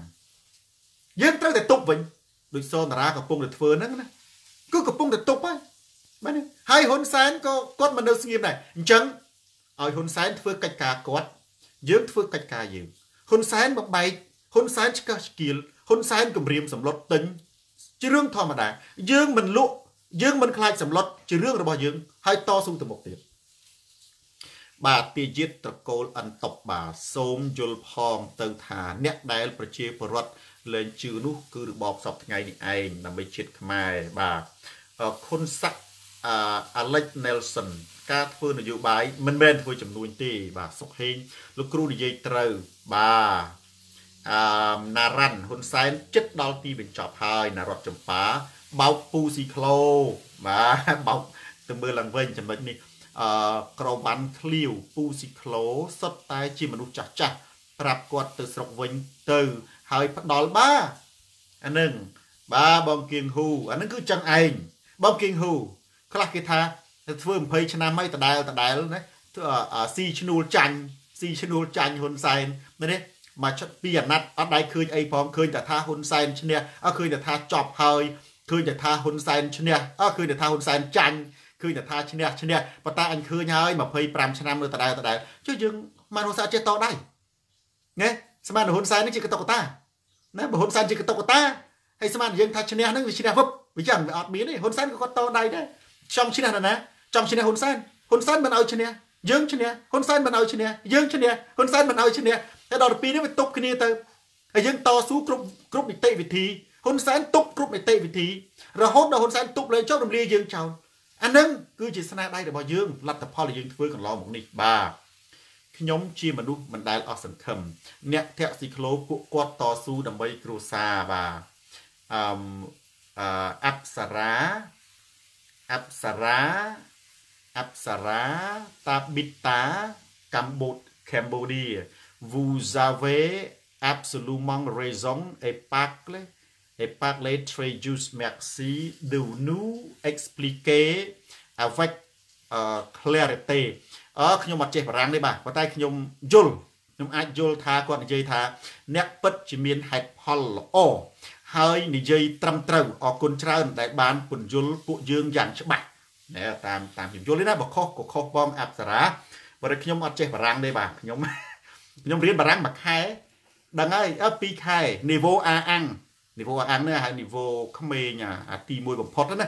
បើបើសិនជាខុសមេតាខន្តែបេទូផងបាទអប្សរាផាន់មនីបាទជ័យយោអូអានផ្សារកូពីផាសបាទដឹងផាសតាំងកាលណាមកចែកគ្នាផ្សាយផុសអាគេនិយាយឲ្យត្រូវប្រធានបទមកគេនិយាយនេះឯងទៅផុសអាសាជ័យយោចែកគ្នា20 30នាក់ហ្នឹងអាចូលទៅខមមិនណាក៏ចុចអាជ័យយោហ្នឹងចុចទៅខមមិនណាក៏ចុចថាយើងគ្រប់គ្រងសំអាននិយាយច្បាស់ អាហ្នឹងចូលខួរក្បាលឌីអាហ្នឹងឯងខួរក្បាលឌីថតចម្លងអាគេនិយាយស្អីចាក់មកចេញតែហ្នឹងសូនតារាលមមលមមបានហើយប្រធានយុវជនណែឃុំកោះដិនបាទខ្ញុំហួសរឿងអីតើចំណុចណាខ្លះដែលខ្ញុំនិយាយហួសបាទប្រាប់ខ្ញុំផងអាហើយបើខ្ញុំនិយាយលមមលមមវាអត់ប៉ុណ្ណឹងដូចមិនទាន់លមមយើងត្រូវនិយាយខ្លាំងជាងហ្នឹងស្រីជា speak you speak right ឮតែចប់ហើយបាទណ៎ឃើញទេ មករាមាចនឹងគណៈទូនីតិរបស់គណៈបកប្រជាជននិងក្រមអត្រឹមត្រូវបកយ៉ងគេថាអញ្ចឹងជារឿងរបស់គេណាគេថាអញ្ចឹងជារឿងរបស់គេគេថាឮតែយូរហើយយូរហើយចប់ហើយតែឃើញតែហ៊ុនសែននៅកាន់អំណាចអាហ្នឹងខ្ញុំឆ្លើយមិញហ៊ុនសែនមិនមែនទីងមងទេណាមែនទេហ៊ុនសែនអំណាចពេញដៃយើងទៅប្រជែងជាមួយហ៊ុនសែនយើងគោលដៅរបស់យើងគោលដៅហ៊ុនសែនវាច្រាស់គ្នាខ្សែក្រវ៉ាត់វានៅអំណាចហ៊ុនសែនមិនអោយមែនទេយើងប្រឹងហ៊ុនសែនមិនអោយអញ្ចឹង យើងត្រូវខិតខំរកគ្រប់វិធីអ្វីដែលចាំបាច់គឺយើងកុំបោះបង់កុំចោះចូលកុំចោះចាញ់កុំសាបរលាបដោយសារតែពាក្យសម្ដីរបស់គេគេថាអញ្ចឹងគឺជាអាវុធរបស់គេ ដើម្បីវាយប្រហារយើងឲ្យយើងដកថយឲ្យយើងអស់សង្ឃឹមយើងឈប់ទៅមុខតើហើយវាអត់ខុសទេ អ្នកដែលគូសត្រូវរបស់យើងគេមិនមែនត្រឹមតែវាយបែបច្បាប់យកលុយមកទិញយើងទេគេវាយបែប បងពុទុចប្រអាក់ស្មារតីយើងដូចជាថាអូឯងទៅមិនរួចទេអូឯង50ឆ្នាំអូឯង20ឆ្នាំទៀតអានឹងជាអាវុធរបស់គេយើងអត់ត្រូវខឹងគេទេហើយនេះប៉ុន្តែយើងត្រូវមានវិធីសាស្ត្រអីទប់របស់គេវិញអ្វីដែលគេវាយមកយើងតែយើងត្រូវរងគេហើយសោកគេទៅវិញយ៉ាងម៉េចធម្មតាគណៈបកប្រជាជនឬក៏បកអាយ៉ងហើយនឹងក្រុមអត្រឹមត្រូវគេតែងតែនិយាយឲ្យយើងឈប់ព្រោះនៅពេលណាដែលយើងឈប់គេបន្តទៅមុខបាទលោកគ្រូអឺ សែមអត់ដែលទេបាទវរៈសែមគឺបាត់មុខ2ខែ3ខែហើយបាទទីសេងមកមេនលោកគ្រូបកប្រែត្រូវហើយបារាំងហ៎ចឹងមែនទេបាទខ្ញុំចិត្តថាទៅទេខ្ញុំអត់ចេះបារាំងទេបាទអឺជំរកបេះដូងមនុស្ស2នាក់ដែលគេចាក់មកបដូរយកសិទ្ធិសេរីភាពវិញ គឺកុំមកបំបែកបំបាក់សាមគ្គីវិរៈសេមសក់លោកតារា អូសដីក៏មិនឈ្នះដែរណគណៈបកប្រជាជនឬក៏បកអាយ៉ងគេត្រូវថាអញ្ចឹងធ្លាប់មានគេសួរខ្ញុំច្រើនដងហើយខ្ញុំឆ្លើយតែមួយម៉ាត់មួយម៉ាត់ខ្ញុំឆ្លើយមួយម៉ាត់មួយម៉ាត់ទេណាខ្លះគេថាអេដូចតាក់តងនឹងសក់តារាដែលអូសដីអីនឹងខ្លះគេសួរថាលោកគ្រូលោកគ្រូថាតើតែកម្មសិក្ខាចេញបានកាត់សក់ចុះបើកម្មសិក្ខានៅ10ឆ្នាំ20ឆ្នាំទៅសក់លោកគ្រូនឹងមិនធ្លាក់ដល់កាពះគូដែរខ្ញុំឆ្លើយទៅមួយម៉ាត់ទេទុកឲ្យគេគិតខ្លួនឯងទៅចុះណា ខ្ញុំថាសក់ខ្ញុំហ៊ុនសែននឹងចប់មុនសក់ខ្ញុំធ្លាក់ដល់ស្មាតែប៉ុណ្្នឹងបាទហើយយកអាហ្នឹងទៅគិតខ្លួនឯងទៅចុះសាមេបើអាណិតបើស្រឡាញ់តាស៊ីក្លូអាបាទអាហ្នឹងគឺបោកទេណារត់ចម្ប៉ាដឹកនាំគឺយករិះធ្វើជាសត្រូវគឺហ៊ុនសែននឹងឯងបាទអឺ នៃសូនតារារកស៊ីតាមเพจអត់សោះបាទអឺបើសិនជាយល់ច្រឡំក៏យល់ទៅចោះបាទទេសូនតារាអត់មានរកស៊ីអីទេខ្ញុំធ្លាប់និយាយច្រើនដងហើយដោយសារមានអ្នកខ្លះធ្លាប់ផ្ញើលុយយកវីដេអូសូនតារាទៅបង្ហោះនៅក្នុង YouTube មែនទេយកសូនអានឹងគឺថាលោកគ្រូចង់ផ្ញើលុយលោកគ្រូចាយខ្លះខ្ញុំអត់យកទេណា សូនារាបំរើបងប្អូនទូរទស្សន៍សូនារាអត់មានពាណិជ្ជកម្មអីទាំងអស់អត់មានពាណិជ្ជកម្មអត់មានតាម page អីទាំងអស់ទៅមើល page សូនារាមានតែផ្សាយពាណិជ្ជកម្មអីណាកើតកឡោទេនេះដូចងប់វាងទេសូមបញ្ជាក់ថាសូនារាគឺអត់មាន ដែលធ្វើពាណិជ្ជកម្មពី YouTube ឬក៏ពី Facebook ទាំងអស់បាទហើយបើសិនជាប្រិយមិត្តស្ដាប់សូនារាកើនប្រាជ្ញាកើនប្រាជ្ញាត្រង់ថាកើនសច្ចធម៌កើនសច្ចធម៌នឹង គឺធ្វើឲ្យយើងនិយាយដោយមានសំអាងណាបើសិនជាយើងនិយាយអត់សំអាងយើងត្រូវដឹងថាតើដឹងពីណាមកពីព្រោះការនិយាយវាមានវាមានពីរយ៉ាងប្រិយមិត្តវាមានការយល់ឃើញនិងវាមានវាមានហេតុវាមានផុសតាងហ្នឹងហើយការយល់ឃើញវាអាចខុសវាអាចត្រូវបាទផុសតាំងវាខុសពីការយល់ឃើញឧទាហរណ៍គេនិយាយថាអ៊ីត្រូសែន បុកអុកស៊ីសែនស្មើទឹកអាហ្នឹងអត់មានមិនមែនជាការយល់ឃើញទេគេថាកើតចាស់ឈឺ